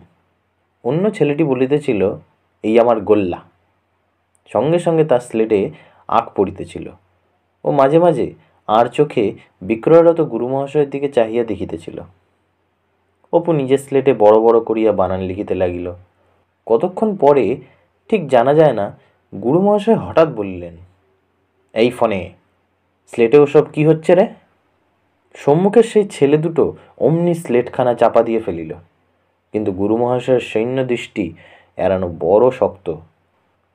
তিনি বলিলেন, এই সাথে ফোনের স্লেটটা নিয়ে আয় তো। তাহার মুখের কথা শেষ হইতে না হইতেই বড় আঁচিলওয়ালা ছেলেটি ছো মারিয়া স্লেটখানা উঠাইয়া লইয়া গিয়া দোকানের মাচার ওপর হাজির করিল। হুম, এসব কী লেখা হচ্ছে স্লেটে? সতে, ধরে নিয়ে আয় তো দুজনকে, কান ধরে নিয়ে আয়। যেভাবে বড় ছেলেটা ছৌ মারিয়া স্লেট লইয়া গেল এবং যেভাবে বিপন্ন মুখে সামনের ছেলে দুটি পায়ে পায়ে গুরু মহাশয়ের কাছে যাইতেছিল তাহাতে হঠাৎ অপুর বড় হাসি পাইল। সে ফিক করিয়া হাসিয়া ফেলিল। পরে খানিকটা হাসি চাপিয়া রাখিয়া আবার ফিক ফিক করিয়া হাসিয়া উঠিল। গুরু মহাশয় বলিলেন, হাসে কে? হাসছ কেন খোকা? এ কি নাট্যশালা? হ্যাঁ? এটা নাট্যশালা নাকি? নাট্যশালা কি? অপু তাহা বুঝিতে পারিল না, কিন্তু ভয় তাহার মুখ শুকাইয়া গেল। সাথে একখানা থান ইট নিয়ে আয় তো তেঁতুলতলা থেকে, বেশ বড় দেখে। অপু ভয় আড়ষ্ট হইয়া উঠিল। তাহার গলা পর্যন্ত কাঠ হইয়া গেল। কিন্তু ইট আনিতে হইলে সে দেখিল, ইটের ব্যবস্থা তাহার জন্য নয়, এই ছেলে দুটোর জন্য। বয়স অল্প বলিয়াই হোক বা নতুন ভর্তি বলিয়াই হোক গুরু মহাশয় সে যাত্রা তাহাকে রেহাই দিলেন। পাঠশালা বসিত বৈকালে। সব শুদ্ধ আট দশটি ছেলেমেয়ে পড়িতে আসে। সকলেই বাড়ি হইতে ছোট ছোট মাদুর আনিয়া পাতিয়া বসে। অপুর মাদুর নাই। সে বাড়ি হইতে একখানা জীর্ণ কার্পেটের আসন আনে। যে ঘরটায় পাঠশালা হয়, তার কোনো দিকে বেড়া বা দেওয়াল কিছু নাই, চারিধারে খোলা। ঘরের মধ্যে সারি সারি ছাত্রগণ বসে। পাঠশালা ঘরের চারিপাশে বন। পিছন দিকে গুরু মহাশয়ের পৈতৃক আমলের বাগান। অপরাহ্নের তাজা গরম রৌদ্র, বাতাবি লেবু, গাব ও পেয়ারা ফুলি আম গাছটার ফাঁক দিয়া পাঠশালার ঘরের বাঁশের খুঁটির পায়ে আসিয়া পড়িয়াছে। নিকটে অন্য কোনো দিকে কোনো বাড়ি নেই, শুধু বন ও বাগান। একধারে একটা যাতায়াতের সরু পথ। আট দশটা ছেলেমেয়ের মধ্যে সকলেই বেজায় দুলিয়া নানারূপ সুর করিয়া পরামুখস্থ করে। মাঝে মাঝে গুরু মহাশয়ের গলা শোনা যায়, এই ক্যাবলা ওর স্লেটের দিকে চেয়ে কি দেখছিস? কান মলে ছিঁড়ে দেবো একেবারে। নুতু, তোমার কবার নেতি ভিজুতে হবে? ফের যদি দেখি নেতি ভিজুতে উঠেছ? গুরু মহাশয় একটা খুঁটি হেলান দিয়া একখানা তালপাতার চাটাইয়ের ওপর বসিয়া থাকেন। মাথার তেলে বাঁশের খুঁটির হেলান দেওয়ার অংশটা পাকিয়া গিয়াছে। বিকেলবেলা প্রায়ই গ্রামের দিনুপালিত কি রাজু রায় তাহার সহিত গল্প করিতে আসেন। পড়াশোনার চেয়ে এই গল্প শোনা অপুর অনেক বেশি ভালো লাগিত। রাজু রায় মহাশয় প্রথম যৌবনে বাণিজ্যে লক্ষ্মীর বাস স্মরণ করিয়া কীভাবে আষাঢ় হাটে তামাকের দোকান খুলিয়াছিল সে গল্প করিতেন। অপু অবাক হইয়া শুনিত, বেশ কেমন নিজের ছোট্ট দোকানের ঝাপটা তুলিয়া বসিয়া দা দিয়া তামাক কাটা, তারপর রাত্রে নদীতে যাওয়া, ছোট হাঁড়িতে মাছের ঝোল ভাত রাধিয়া খাওয়া, হয়তো মাঝে মাঝে তাহাদের সেই মহাভারতখানা কি বাবার সেই দাসুরায়ের পাঁচালিখানা? মাটির প্রদীপের সামনে খুলিয়া বসিয়া বসিয়া পড়া। বাহিরের অন্ধকারে বর্ষা রাতে টিপটিপ বৃষ্টি পড়িতেছে। কেহ কোথাও নাই, পিছনের ডোবার ব্যাং ডাকিতেছে। কি সুন্দর! বড় হইলে সে তামাকের দোকান করিবে। এই গল্পগুজব এক একদিন আবার ভাব ও কল্পনার সর্বোচ্চ স্তরে উঠিত। গ্রামের ওপারার রাজকৃষ্ণ সান্যাল মহাশয় যেদিন আসিতেন, যে কোনো গল্প হোক, যত সামান্যই হোক না কেন, সেটা সাজাইয়া বলিবার ক্ষমতা তাহার ছিল অসাধারণ। সান্যাল মহাশয় দেশ ভ্রমণ বাতিগ্রস্ত ছিলেন। কোথায় দ্বারকা, কোথায় সাবিত্রী পাহাড়, কোথায় চন্দ্রনাথ, তাহা আবার একা দেখিয়া তৃপ্তি হইত না। প্রতিবারই স্ত্রীপুত্র লইয়া যাইতেন। এবং খরচপত্র করিয়া সর্বশান্ত হইয়া ফিরিতেন। দিব্য আরামে নিজের চণ্ডীমণ্ডপে বসিয়া থেলো হুকা টানিতেছেন। মনে হইতেছে, সান্যাল মহাশয়ের মতন নিতান্ত ঘরোয়া, সেকেলে, পাড়াগায়ের প্রচুর অবসরপ্রাপ্ত গৃহস্থ বেশি আর বুঝি নাই। পৈতৃক চণ্ডীমণ্ডপে শিকড় গাড়িয়া বসিয়াছেন। হঠাৎ একদিন দেখা গেল, সদর দরজার তালাবন্ধ। বাড়িতে জনপ্রাণীর সাড়া নেই। ব্যাপার কি? সান্যাল মহাশয় সপরিবারে বিন্ধ্যাচল বা চন্দ্রনাথ ভ্রমণে গিয়েছেন। অনেকদিন আর দেখা নাই। হঠাৎ একদিন দুপুরবেলা টুকটাক শব্দে লোকে সবিস্ময় চাহিয়া দেখিল, দুটো গরুর গাড়ি বোঝাই হওয়া সান্যাল মহাশয় সপরিবারে বিদেশ হইতে প্রত্যাগমন করিয়াছেন এবং লোকজন ডাকাইয়া হাঁটু সমান উঁচু জল বিচুটি ও অর্জুন গাছের জঙ্গল কাটিতে কাটিতে বাড়ি ঢুকিতেছেন।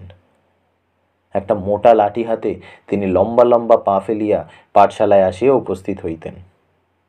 এই যে প্রসন্ন, কীরকম আছো? বেশ জাল পেতে বসেছ যে? কটা মাছি পড়ল? নামটা মুখস্থরত অপুর মুখ অমনি অসীম আহ্লাদে উজ্জ্বল হইয়া উঠিত। সান্যাল মশায় যেখানে তালপাতার চাটাই টানিয়া বসিয়াছেন সেদিকে হাতখানেক জমি উৎসাহে আগাইয়া বসিত। স্লেট বই মুড়িয়া একপাশে রাখিয়া দিত, যেন আর ছুটি হইয়া গিয়াছে, আর পড়াশোনার দরকার নাই। সঙ্গে সঙ্গে তাহার ডাগর ও উৎসব চোখ দুটো গল্পের প্রত্যেক কথা যেন দুর্ভিক্ষের ক্ষুধার আগ্রহে গিলিত। কুটির মাঠের পথে যে জায়গাটিকে এখন নালতাকুড়ির জোল বলে, এইখানে আগে অনেক কাল আগে গ্রামের মতি হাজরার ভাই চন্দর হাজরা কি বনের গাছ কাটিতে গিয়েছিল?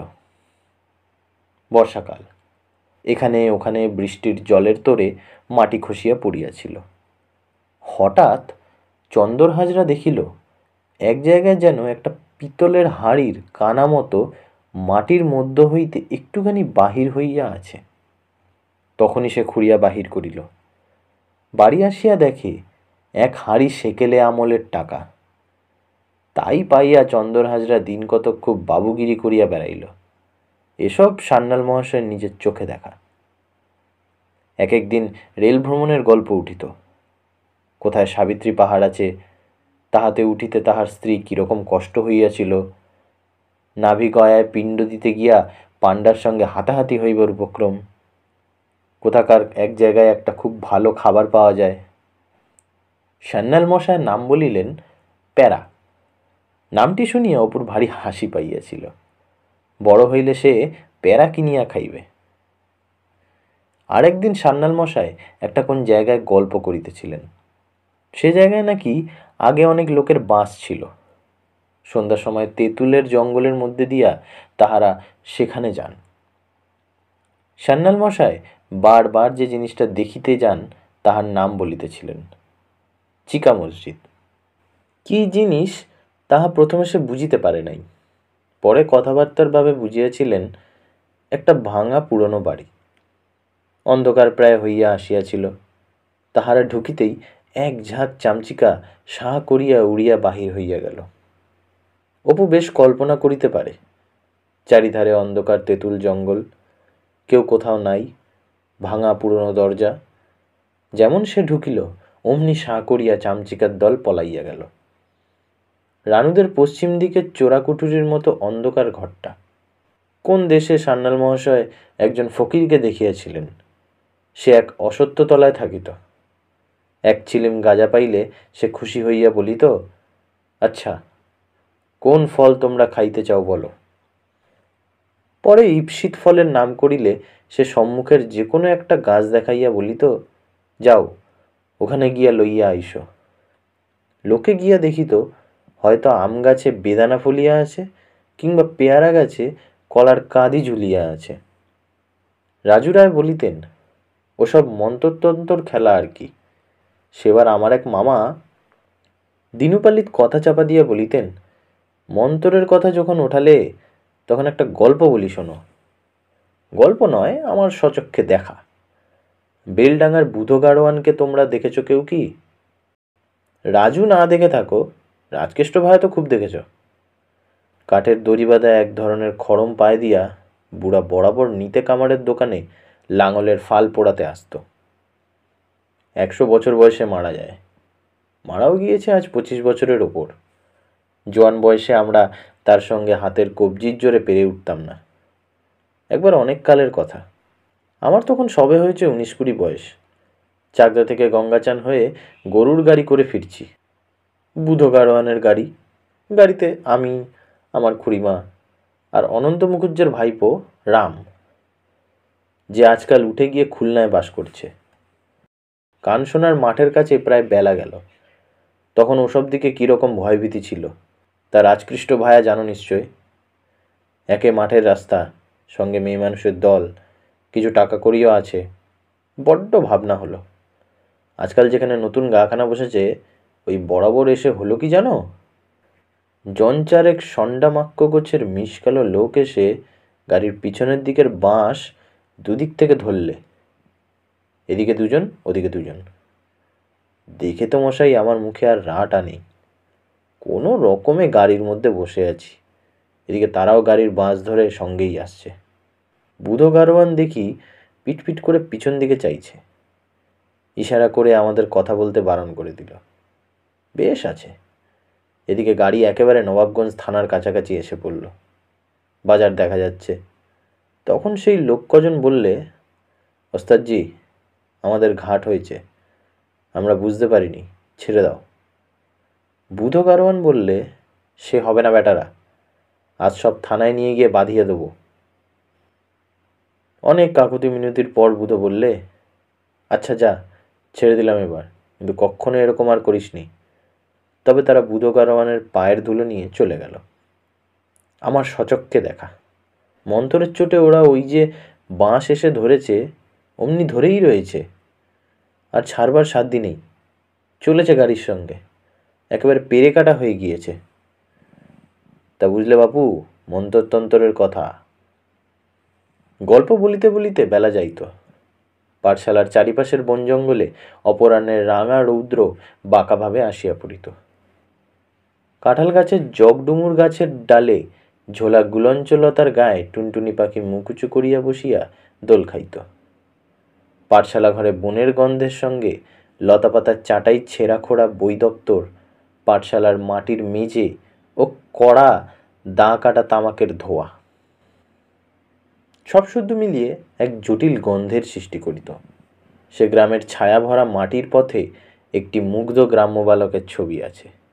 বই দপ্তর বগলে লইয়া সে তাহার দিদির পিছনে পিছনে সাজিমাটা দিয়া কাঁচা, সেলাই করা কাপড় পরিয়া পাঠশালা হইতে ফিরিতেছে। তাহার ছোট্ট মাথাটির রমন রেশমের মতো নরম চিক্কন সুখ স্পর্শ চুলগুলো তাহার মা যত্ন করিয়া আঁচড়াইয়া দিয়েছে। তাহার ডাগর ডাগর সুন্দর চোখ দুটিতে কেমন যেন অবাক ধরনের চাহনি। যেন তাহারা এ কোন অদ্ভুত জগতে নতুন চোখ মেলিয়া চাহিয়া চাহিয়া দিশাহারা হইয়া উঠিয়াছে। গাছপালায় ঘেরা এইটুকু কেবল তার পরিচিত দেশ। এখানেই মা রোজ হাতে করিয়া খাওয়ায়, চুল আছড়াইয়া দেয়, দিদি কাপড় পরাইয়া দেয়। এই গণ্ডিটুকু ছাড়াইলেই তাহার চারিধারে ঘিরিয়া অপরিচয়ের অকুল জলধি। তাহার শিশু মন থই পায় না। এই যে বাগানের ওদিকে বাঁশবন, ওর পাশ কাটিয়া যে সরু পথটি ওধারে কোথায় চলিয়া গেল তুমি বরাবর সোজা যদি ও পথটা বাহিয়া চলিয়া যাও, তবে শাঁখারি পুকুরের পাড়ের মধ্যে অজানা গুপ্তধনের দেশে পড়িবে। বড় গাছের তলায় সেখানে বৃষ্টির জলে মাটি খসিয়া পড়িয়াছে। কত মোহর ভরা হাড়ি কলসির কানা বাহির হইয়া আছে। অন্ধকার বনঝোপের নিচে কচু, ওল ও বনকলমির চকচকে সবুজ পাতার আড়ালে চাপা। কেউ জানে না কোথায়। একদিন পাঠশালার এমন একটা ঘটনা ঘটিয়াছিল যাহা তাহার জীবনের একটি নতুন অভিজ্ঞতা। সেদিন বৈকালে পাঠশালায় অন্য কেহ উপস্থিত না থাকায় কোনো গল্পগুজব হইল না। পড়াশোনা হইতেছিল, সে গিয়া বসিয়া পড়িতেছিল শিশুবোধক। এমন সময় গুরু মহাশয় বলিলেন, সেলেট নাও শ্রুতিলেখন লেখ। মুখে মুখে বলিয়া গেলেও অপু বুঝিয়াছিল গুরু মহাশয় নিজের কথা বলিতেছেন না, মুখস্থ বলিতেছেন। সে যেমন দাসুরের পাঁচালি ছড়া মুখস্থ বলে, তেমনি। শুনিতে শুনিতে তাহার মনে হইল, অনেকগুলো অমন সুন্দর কথা একসঙ্গে পরপর সে কখনো শোনে নাই। ও সকল কথার অর্থ বুঝিতেছিল না। কিন্তু অজানা শব্দ ও ললিত পদের ধ্বনি ঝঙ্কার জড়ানো এক অপরিচিত শব্দ সংগীত। অনভস্ত শিশুকর্ণে অপূর্ব ঠেকিল। এবং সব কথার অর্থ না বোঝার দরুণী কুহেলি ঘেরা অস্পষ্ট শব্দ সমষ্টির পিছন হইতে একটা অপূর্ব দেশের ছবি বারবার উকি মারিতেছিল। বড় হইয়া স্কুলে পড়িবার সময় সে বাহির করিয়াছিল, ছেলেবেলাকার এই মুখস্থ শ্রুতিলেখন কোথায় আছে? এই সেই জনস্থান মধ্যবর্তী প্রশ্রবণগিরি।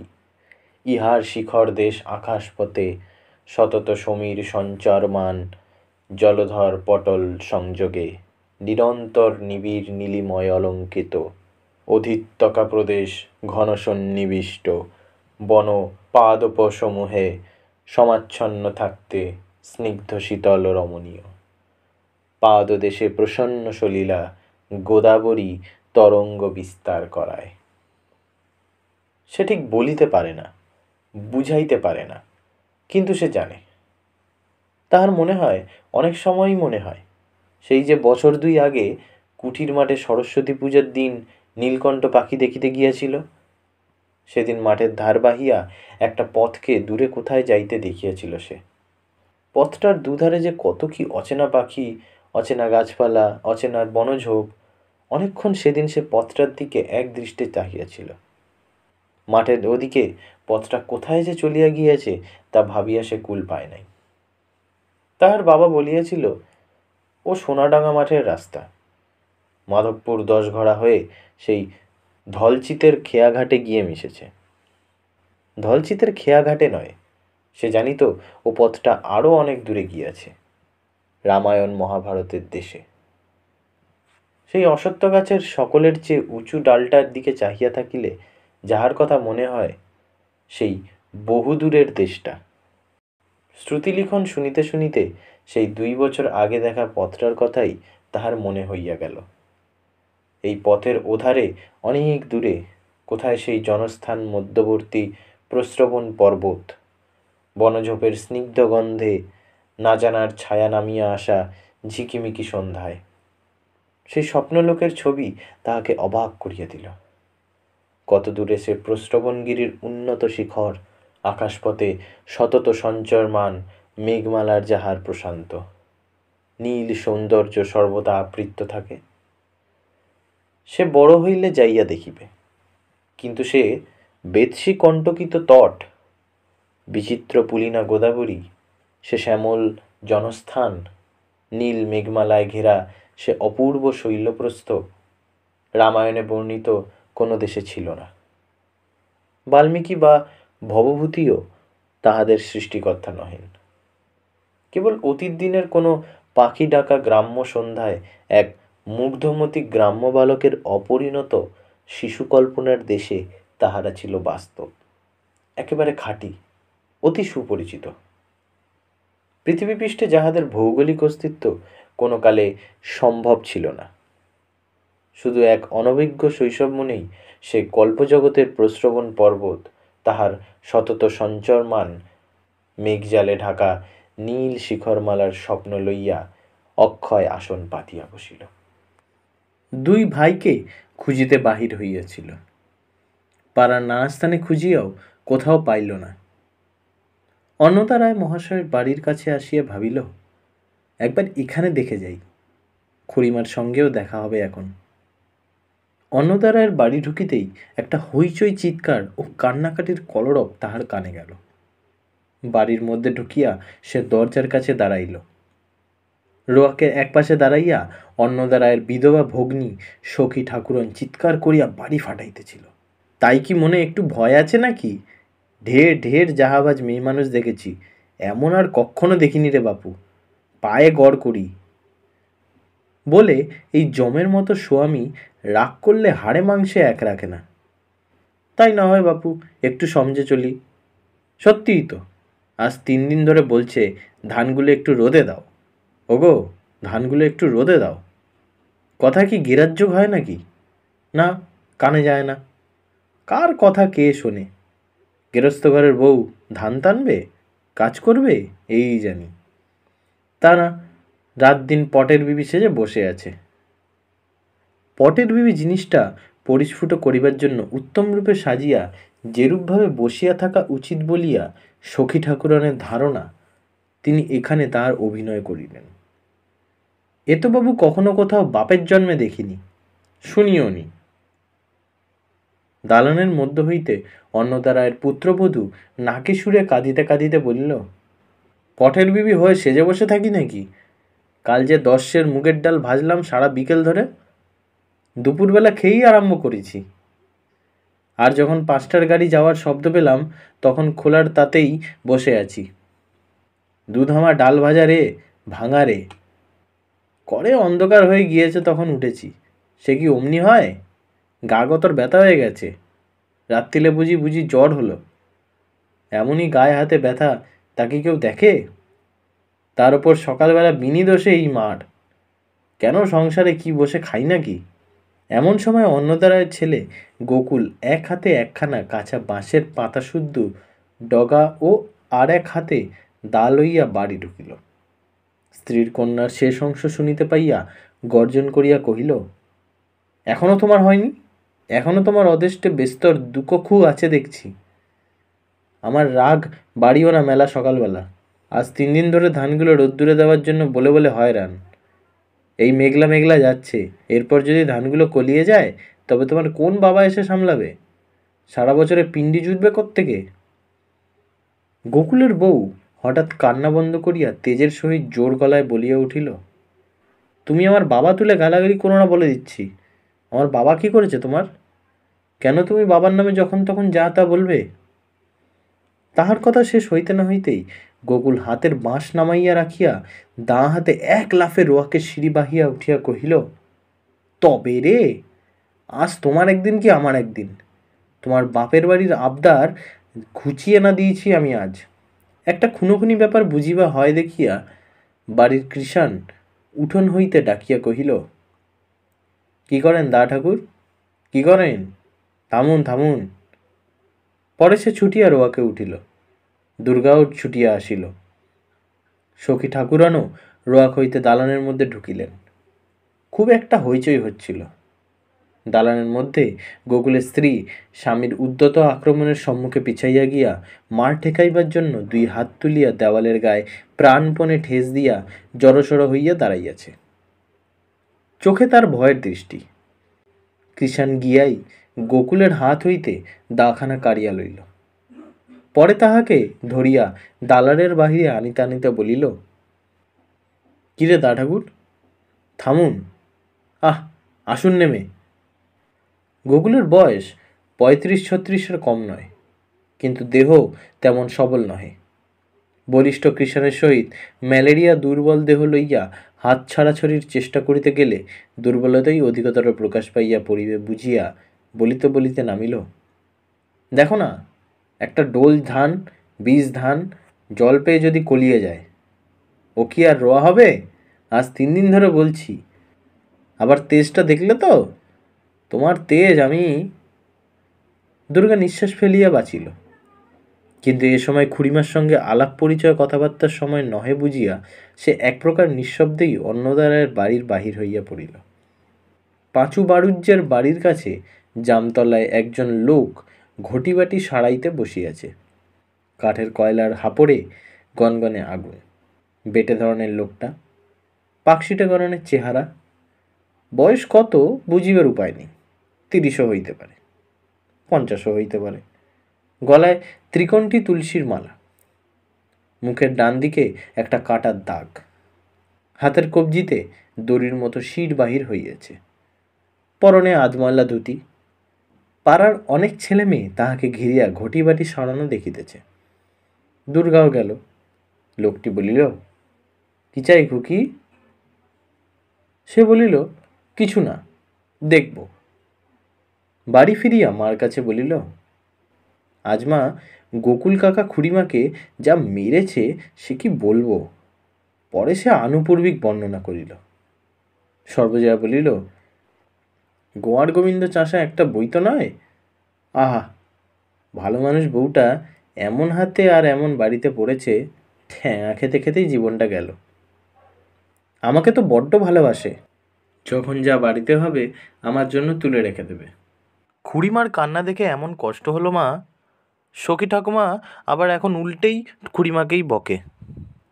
সে তিন চার দিন জামতলায় ঘটিবাটি সারানো দেখিতে গেল। লোকটি তাহার বাড়ি বাপের নাম সব খুঁটিনাটি জিজ্ঞাসা করে। বলিল, তোমাদের বাড়ির জিনিসপত্র সারাবে না? নিয়ে এসো না, খুকি। দুর্গা বাড়ি আসিয়া মাকে বলিল, আমাদের ভাঙা ঘটি গাড়গুলো দেবে মা? একজন বেশ ভালো মানুষ লোক এসেছে ওপারার পথে জামতলায় বসে সারাচ্ছে। লোকটা তার নাম বলে পিতম, যাতে নাকি কাঁসারি। হাপড় জ্বালাইতে জ্বালাইতে এক একবার সোজা হইয়া বসিয়া বলে জয় রাধে রাধে গোবিন্দ সকালবেলা তাহার কাছে পাড়ার অনেকে আসিয়া জোটে সে চিমটা দিয়া হাপড় হইতে আগুন উঠাইয়া অনবরত তামাক সাজিয়া ভদ্রলোকের হাতে দিতেছে দিবার সময় মুখখানা বিনয়ে কাছুমাছু করিয়া ঘাড় একধারে কাত করিয়া বলে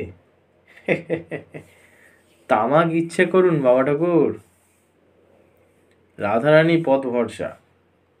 নারকেলের কথা আর বলবেন না, বাবা ঠাকুর। আট বছর জ্যৈষ্ঠী মাসে বলি দিই, গোটাখানেক চারা বসিয়ে।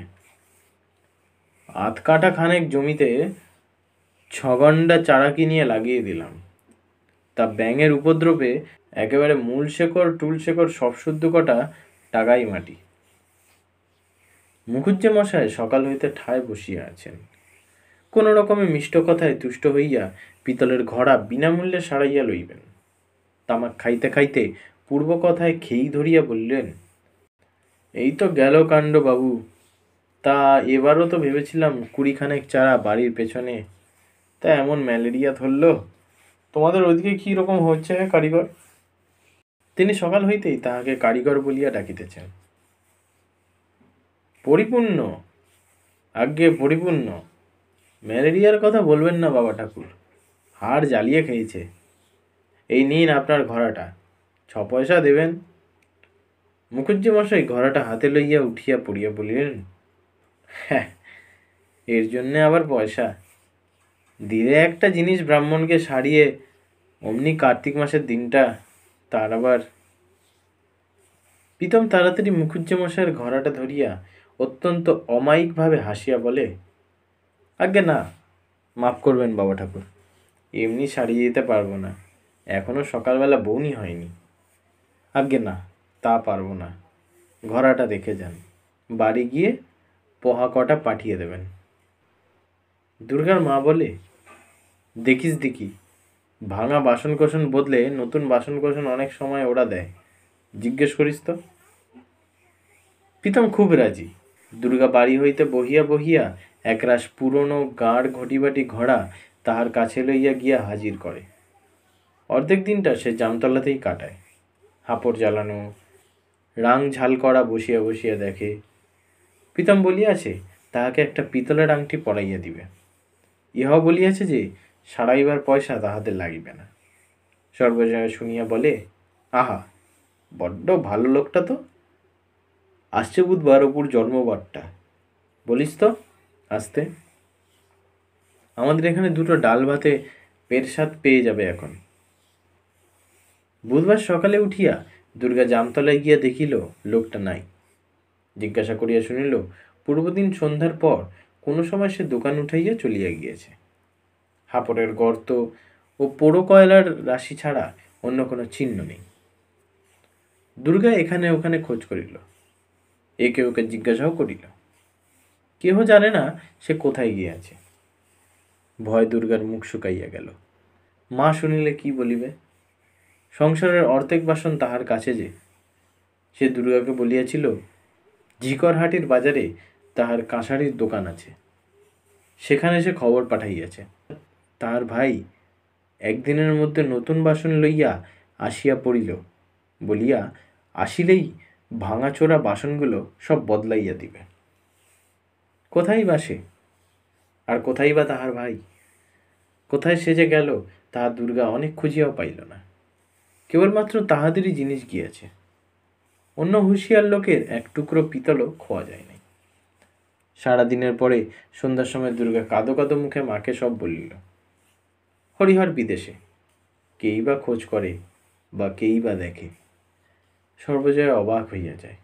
বলে একবার ভোর রায় জ্যাঠামশাইকে গিয়ে বলতো, ওমা, এমন কথা তো কখনো শুনিনি। হরিহর বাড়ি আসিলে ঝিকরহাটির বাজারে খোঁজ করা হইয়াছিল। প্রীতম নামক কোনো লোকের সেখানে কাঁসারির দোকান নাই বা উক্ত চেহারার কোনো লোকও সেখানে নাই। কয়েক মাস কাটিয়া গিয়েছে, ভাদ্র মাস। অপু বৈকালে বেলা বেড়াইতে যাইবার সংকল্প করিতেছে। এমন সময় তাহার মা পিছনে ডাকিয়া বলিল কোথায় বেরোচ্ছিস রে অপু? চাল ভাজা আর ছোলা ভাজা ভাজছি। বেরিও না যেন। এক্ষুনি খাবি। অপু শুনিয়াও শুনিল না।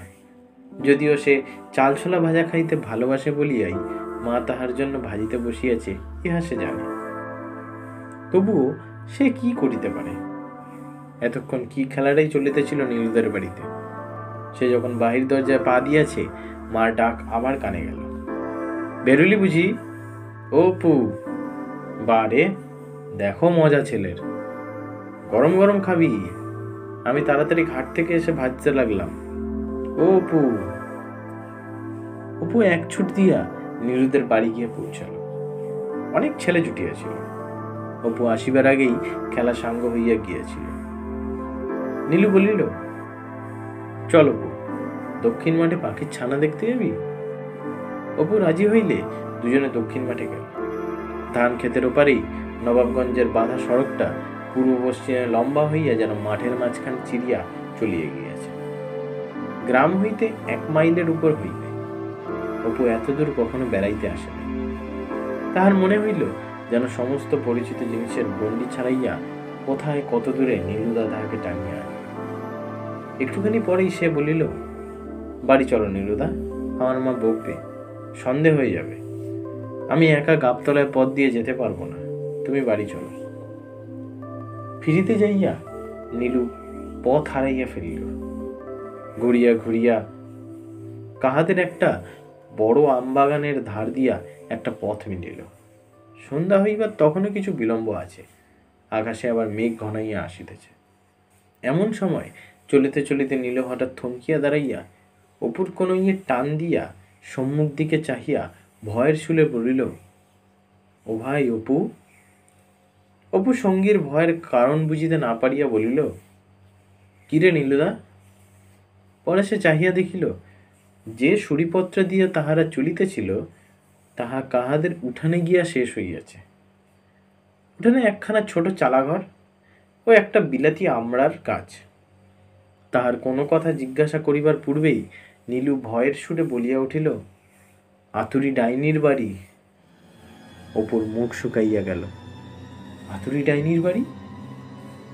সন্ধেবেলায় কোথায় আসিয়া তাহারা পড়িয়াছে? কে না জানে যে ওই উঠানের গাছে চুরি করিয়া বিলাতি আমরা পারিবার অপরাধে ডাইনিটা জেলে পাড়ার কোনো এক ছেলের প্রাণ কাড়িয়া লইয়া কচু পাতায় বাঁধিয়া জলে ডুবাইয়া রাখিয়াছিল। পরে মাছে তাহা খাইয়া ফেলিবার সঙ্গে সঙ্গে বেচারির আমরা খাইবার স্বাদ এই জন্মের মতো মিটিয়া যায়।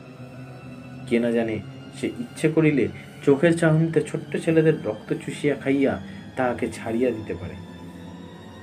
যাহার রক্ত খাওয়া হইল, সে কিছুতেই জানিতে পারিবে না। কিন্তু বাড়ি গিয়া খাইয়া দাইয়া সেই যে বিছানায় শুইবে, আর পরদিন উঠিবে না। কতদিন শীতের রাত্রে লেপের তলায় শুইয়া দিদির মুখে আতুরি ডাইনের গল্প শুনিতে শুনিতে সে বলিয়াছে, রাত্রিতে তুই ওসব গল্প বলিস না দিদি, আমার ভয় করে। তুই সেই কুচবরণ রাজকন্যার গল্পটা বল দেখি।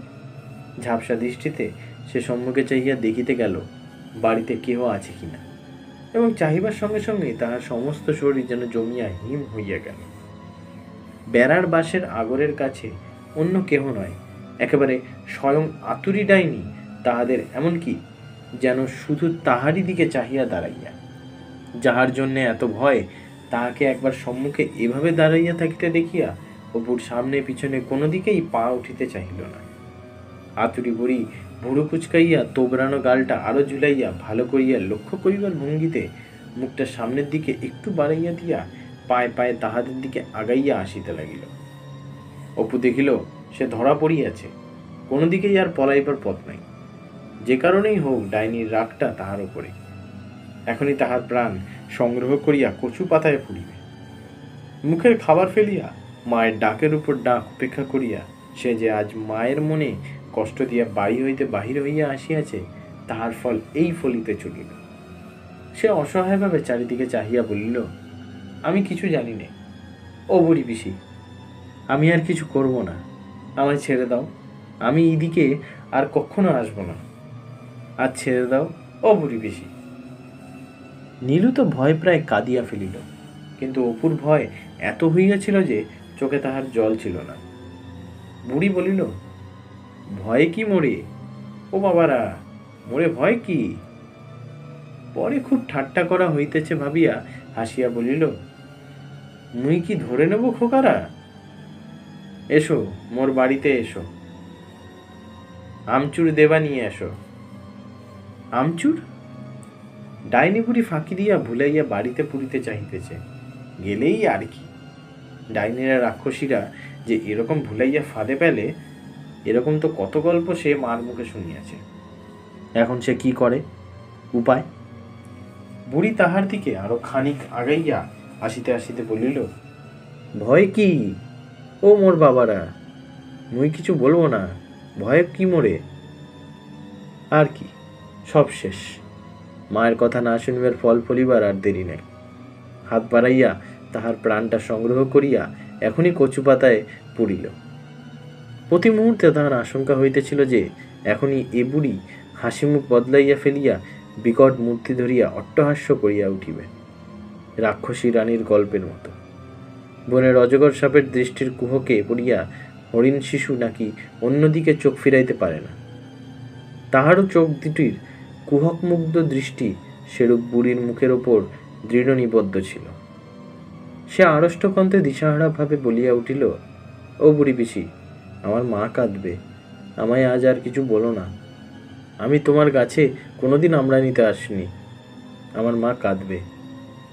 আতঙ্কে সে নীলবর্ণ হইয়া উঠিয়াছে।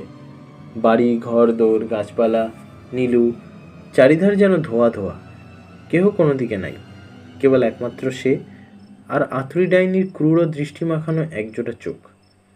আর অনেক দূরে কোথায় যেন মা আর তাহার চাল ভাজা খাওয়ার ডাক।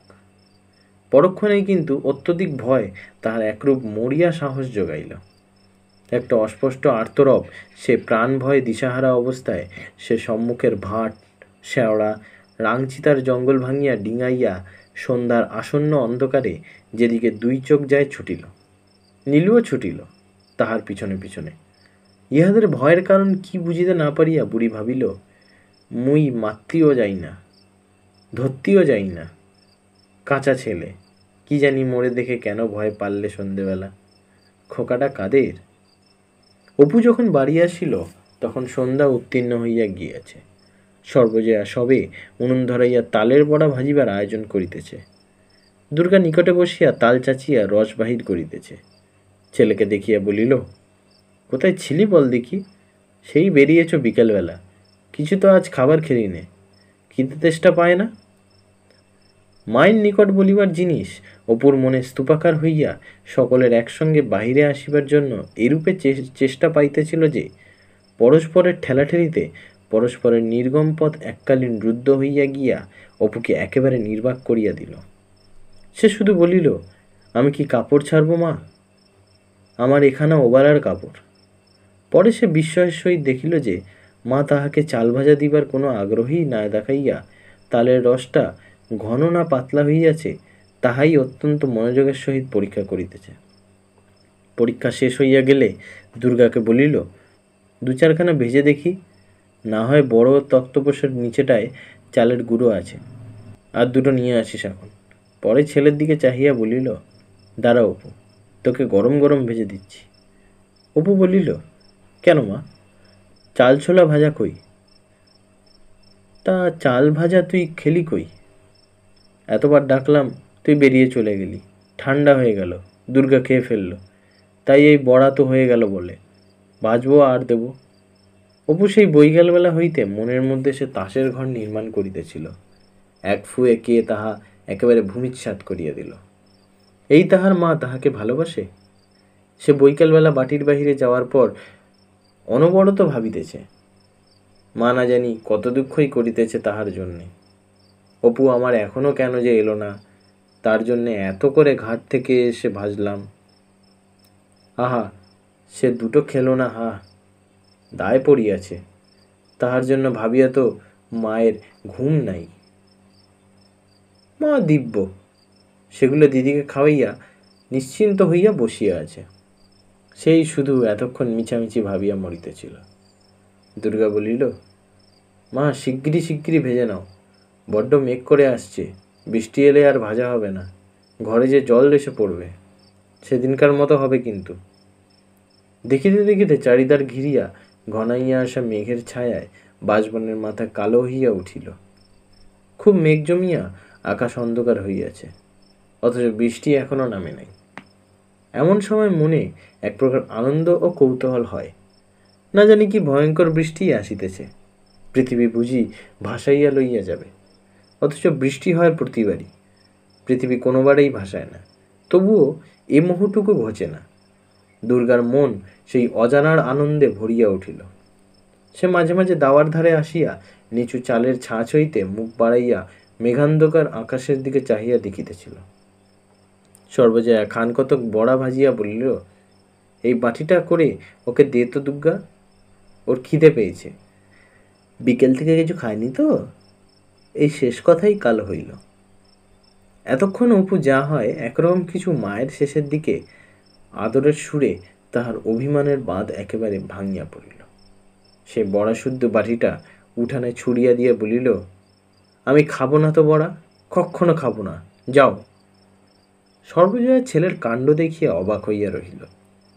গরিবের ঘর কন্যা কত কষ্টে যে কি জোগাড় করিতে হয়, সেই জানে। আর হতভাগা ছেলেটা কি না দু দুবার সেই কত কষ্টে সংগৃহীত মুখের জিনিসটা নষ্ট করল। ক্ষোভে এর আগে সে ছেলের দিকে চাহিয়া বলিল, তোমার আজ হয়েছে কি? তোমার অদৃষ্টে আজ ছাই লেখা আছে। খেও এখন, তাই গরম গরম। এবার অপুর পালা। এরকম কথা মার মুখে কখনো শোনে নাই। কোথায় সে চাহিতেছে? মা দুটো আদরের কথা বলিয়া সান্ত্বনা করিবে। না সন্ধেবেলা এমন নিষ্ঠুর কথা? সে দাঁড়াইয়া উঠিয়া বলিল আচ্ছা মা, আমি চাল ভাজা খাইনি তাতে আমার মনে কষ্ট হয় না? আমি বিকেল থেকে ভাবছি না বুঝি? আমি আমি কখনো তোমার বাড়ি আর আসছি না। আমি ছাই খাব। কেন আমি ছাই খাব? আর দিদি বুঝি সব ভালো ভালো জিনিস খাবে। আমি আসব না তোমার বাড়ি। কখনো আসব না। পরে সে আতুরি বুড়ির বাড়ি হইতে এইমাত্র যেরূপ অন্ধকার কাটাবন আমবন না মানিয়া ছুটিয়াছিল এখনোর আগে আত্মহারা হইয়া দাওয়া হইতে নামিয়া বাহিরের উঠান দিকে ঠিক সেরূপ মরিয়ার মতো ছুটিল। ভাইয়ের অভিমান ভরা দৃষ্টি, ফুলা ঠোঁট, ও কথা বলিবার ধরন দুর্গার নিকটেরূপ হাস্যকর ঠেকিল যে সে হাসিয়া প্রায় গড়াইয়া পড়িল। হি হি করিয়া অপুটা একেবারে পাগল মা, কেমন বললে? পরে ভাইয়ের এরূপ বলিবার উক্তির নকল করিয়া বলিল, আমি চাল ভাজা খাইনি। তাতে বুঝি আমার কষ্ট হয় না? বোকা একেবারে, যা অপু শুনে যা অপু অপু ছুটিয়া পাঁচিলের পাশের পথ দিয়া পিছনের বাঁশ বাগানের দিকে ছুটিল। আকাশে মেঘ তখনও থমকিয়া আছে। বাঁশবনের তলাটা ঝোপে ঝাড়ে নির্জন বর্ষা সন্ধ্যার ঘুটঘুটে অন্ধকার। সহজ অবস্থায় এরূপ স্থানে এ সময় একা আসিবার কল্পনা সে করিতে পারিত না কোনোদিনও। কিন্তু বর্তমানে চারিধারের নির্জনতা ও অন্ধকার, বাঁশঝাড়ের মধ্যে কিসের খড়খড় শব্দ, অদূরে সলতে খাগি আম গাছে ভূতের প্রসাদ, প্রভৃতি সম্পূর্ণ বিস্তৃত হইয়া দাঁড়াইয়া দাঁড়াইয়া ভাবিতে লাগিল। আমি কখনো বাড়ি যাব না তো? এই জন্মে আর বাড়ি যাব না। অভিমানের প্রথম বেগটা কাটিয়া গেলে তাহার একটু গা ছমছম করিতে লাগিল। ভয় ভয়ে সে একেবারে দূরের সলতে খাগিয়ে আম গাছটার দিকে চাহিয়া দেখিল, তাহার মনে হইল, এখন যদি একটা ভূতে আমায় তুলে একেবারে মগডালে নিয়ে যায়, তো বেশ হয়। মা খুঁজে খুঁজে কেতে মরে। ভাবে, কেন সন্ধেবেলা ছাই খাও বললাম? তাই তো খোকা আমার রাগ করে কোথায় অন্ধকারে মেঘ মাথায় বেরিয়ে চলে গেল। আর ফিরে এলো না। ভূতের হাতে সে মরিয়া গেলে মার কীরকম কষ্ট হইবে তাহা সে খানিকক্ষণ প্রতিহিংসার আনন্দে উপভোগ করিল। পরে সে সেখান হইতে সে গিয়া পাঁচিলের পাশের পথে দাঁড়িল তাহার ভয় ভয় করিতেছিল। সম্মুখের বাঁশঝাড়ে একটা যেন অস্পষ্ট শব্দ হইল। অপু একবার ভয় ভয় চোখ উঁচু করিয়া চাহিয়া দেখিল, তাহার মা ও দিদি রানুদের বাড়ির দিকে ডাকিতেছে। অপু। বাঁশঝাড়ে আবার যেন একটা শব্দ হইল। সে মনে মনে বড় অস্বস্তি বোধ করিতে লাগিল। কিন্তু মুশকিল এই যে, তাহাকে খোসামত না করিলে সে নিজেই অত রাগের মাথায় বাড়ি গিয়া ঢুকিবে। সত্য সত্য, সে একটা আত্মসম্মান জ্ঞান শূন্য সে নয় নিশ্চয়। এবার তাহার দিদি রানুদের বাড়ির খিড়কি দিয়া বাহির হইয়া আসিতেছে যেন। সে ছুটিয়া দরজার সামনের পাঁচিলের কোণটাতে দাঁড়াইল। হঠাৎ আসিতে আসিতে পাঁচিলের পাশে চোখ পড়িতেই দুর্গা চেঁচাইয়া বলিয়া উঠিল, ওই দাঁড়িয়ে রয়েছে মা। এই দেখো পাঁচিলের পাশে। পরে সে ছুটিয়া গিয়া ভাইয়ের হাত ধরিল। ছুটিবার আবশ্যকতা ছিল না। ওরে দুষ্টু, এখানে চুপটি করে দাঁড়িয়ে থাকা হয়েছে? আর আমি আর মা সমস্ত জায়গায় খুঁজে বেড়াচ্ছি। এই দেখো। দুজনে মিলিয়া তাহাকে বাড়ির মধ্যে ধরিয়া লইয়া গেল।